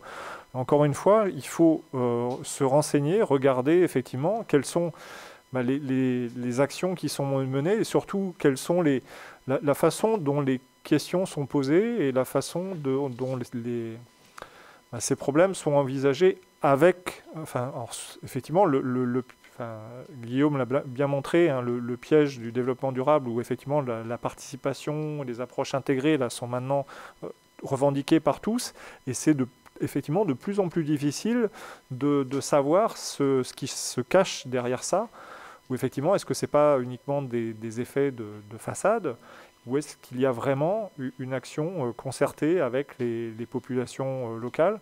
Mais ça, je, pense qu'on peut, en se documentant un petit peu, se voir déjà sur la, façon de poser le diagnostic. Est-ce que les acteurs locaux ont été associés déjà à la phase de diagnostic? Je pense que ça, c'est déjà un bon point. Si le diagnostic est posé a priori et qu'on va solliciter la participation des populations pour, euh, alors là, la grande mode à Madagascar, c'est d'aller planter de la mangrove. Quoi. Euh, là, les, les gens, ils participent, ils sont contents de participer. On plante toujours la même espèce euh, parce que hein, les rhizophora, hein, c'est des grands haricots, c'est facile à planter, même dans les zones où on sait que deux ans après, il n'y en aura plus, mais ça fait une belle photo, les gens sont contents. Mais ce genre d'action spectaculaire, y compris quand c'est porté par des acteurs locaux, ça n'a pas de sens. Donc il faut effectivement, encore une fois, prendre le temps de, bah, de se documenter, de, de voir ce qui, ce qui a été fait, de voir qui finance derrière euh, ce genre de choses. Et je pense qu'on peut quand même assez vite se faire euh, une petite idée de si c'est juste ce sont des effets d'affichage ou euh, s'il y a vraiment des choses derrière. Mais bon, comme disait Guillaume, je pense que sur des actions comme ça, peut-être le mieux, c'est d'essayer de voir comment ça fonctionne sur des choses que vous maîtrisez peut-être un petit peu mieux, sur des choses finalement de proximité, avant d'imaginer d'aller euh, porter la bonne parole. euh, hein, Il y, a- un côté euh, nouveau missionnaire souvent de certaines de ces organisations. Et donc par rapport à- aux populations locales, je pense qu'il faut ben, prendre le temps de, de regarder, d'essayer de comprendre comment, comment ça fonctionne, qui fait quoi.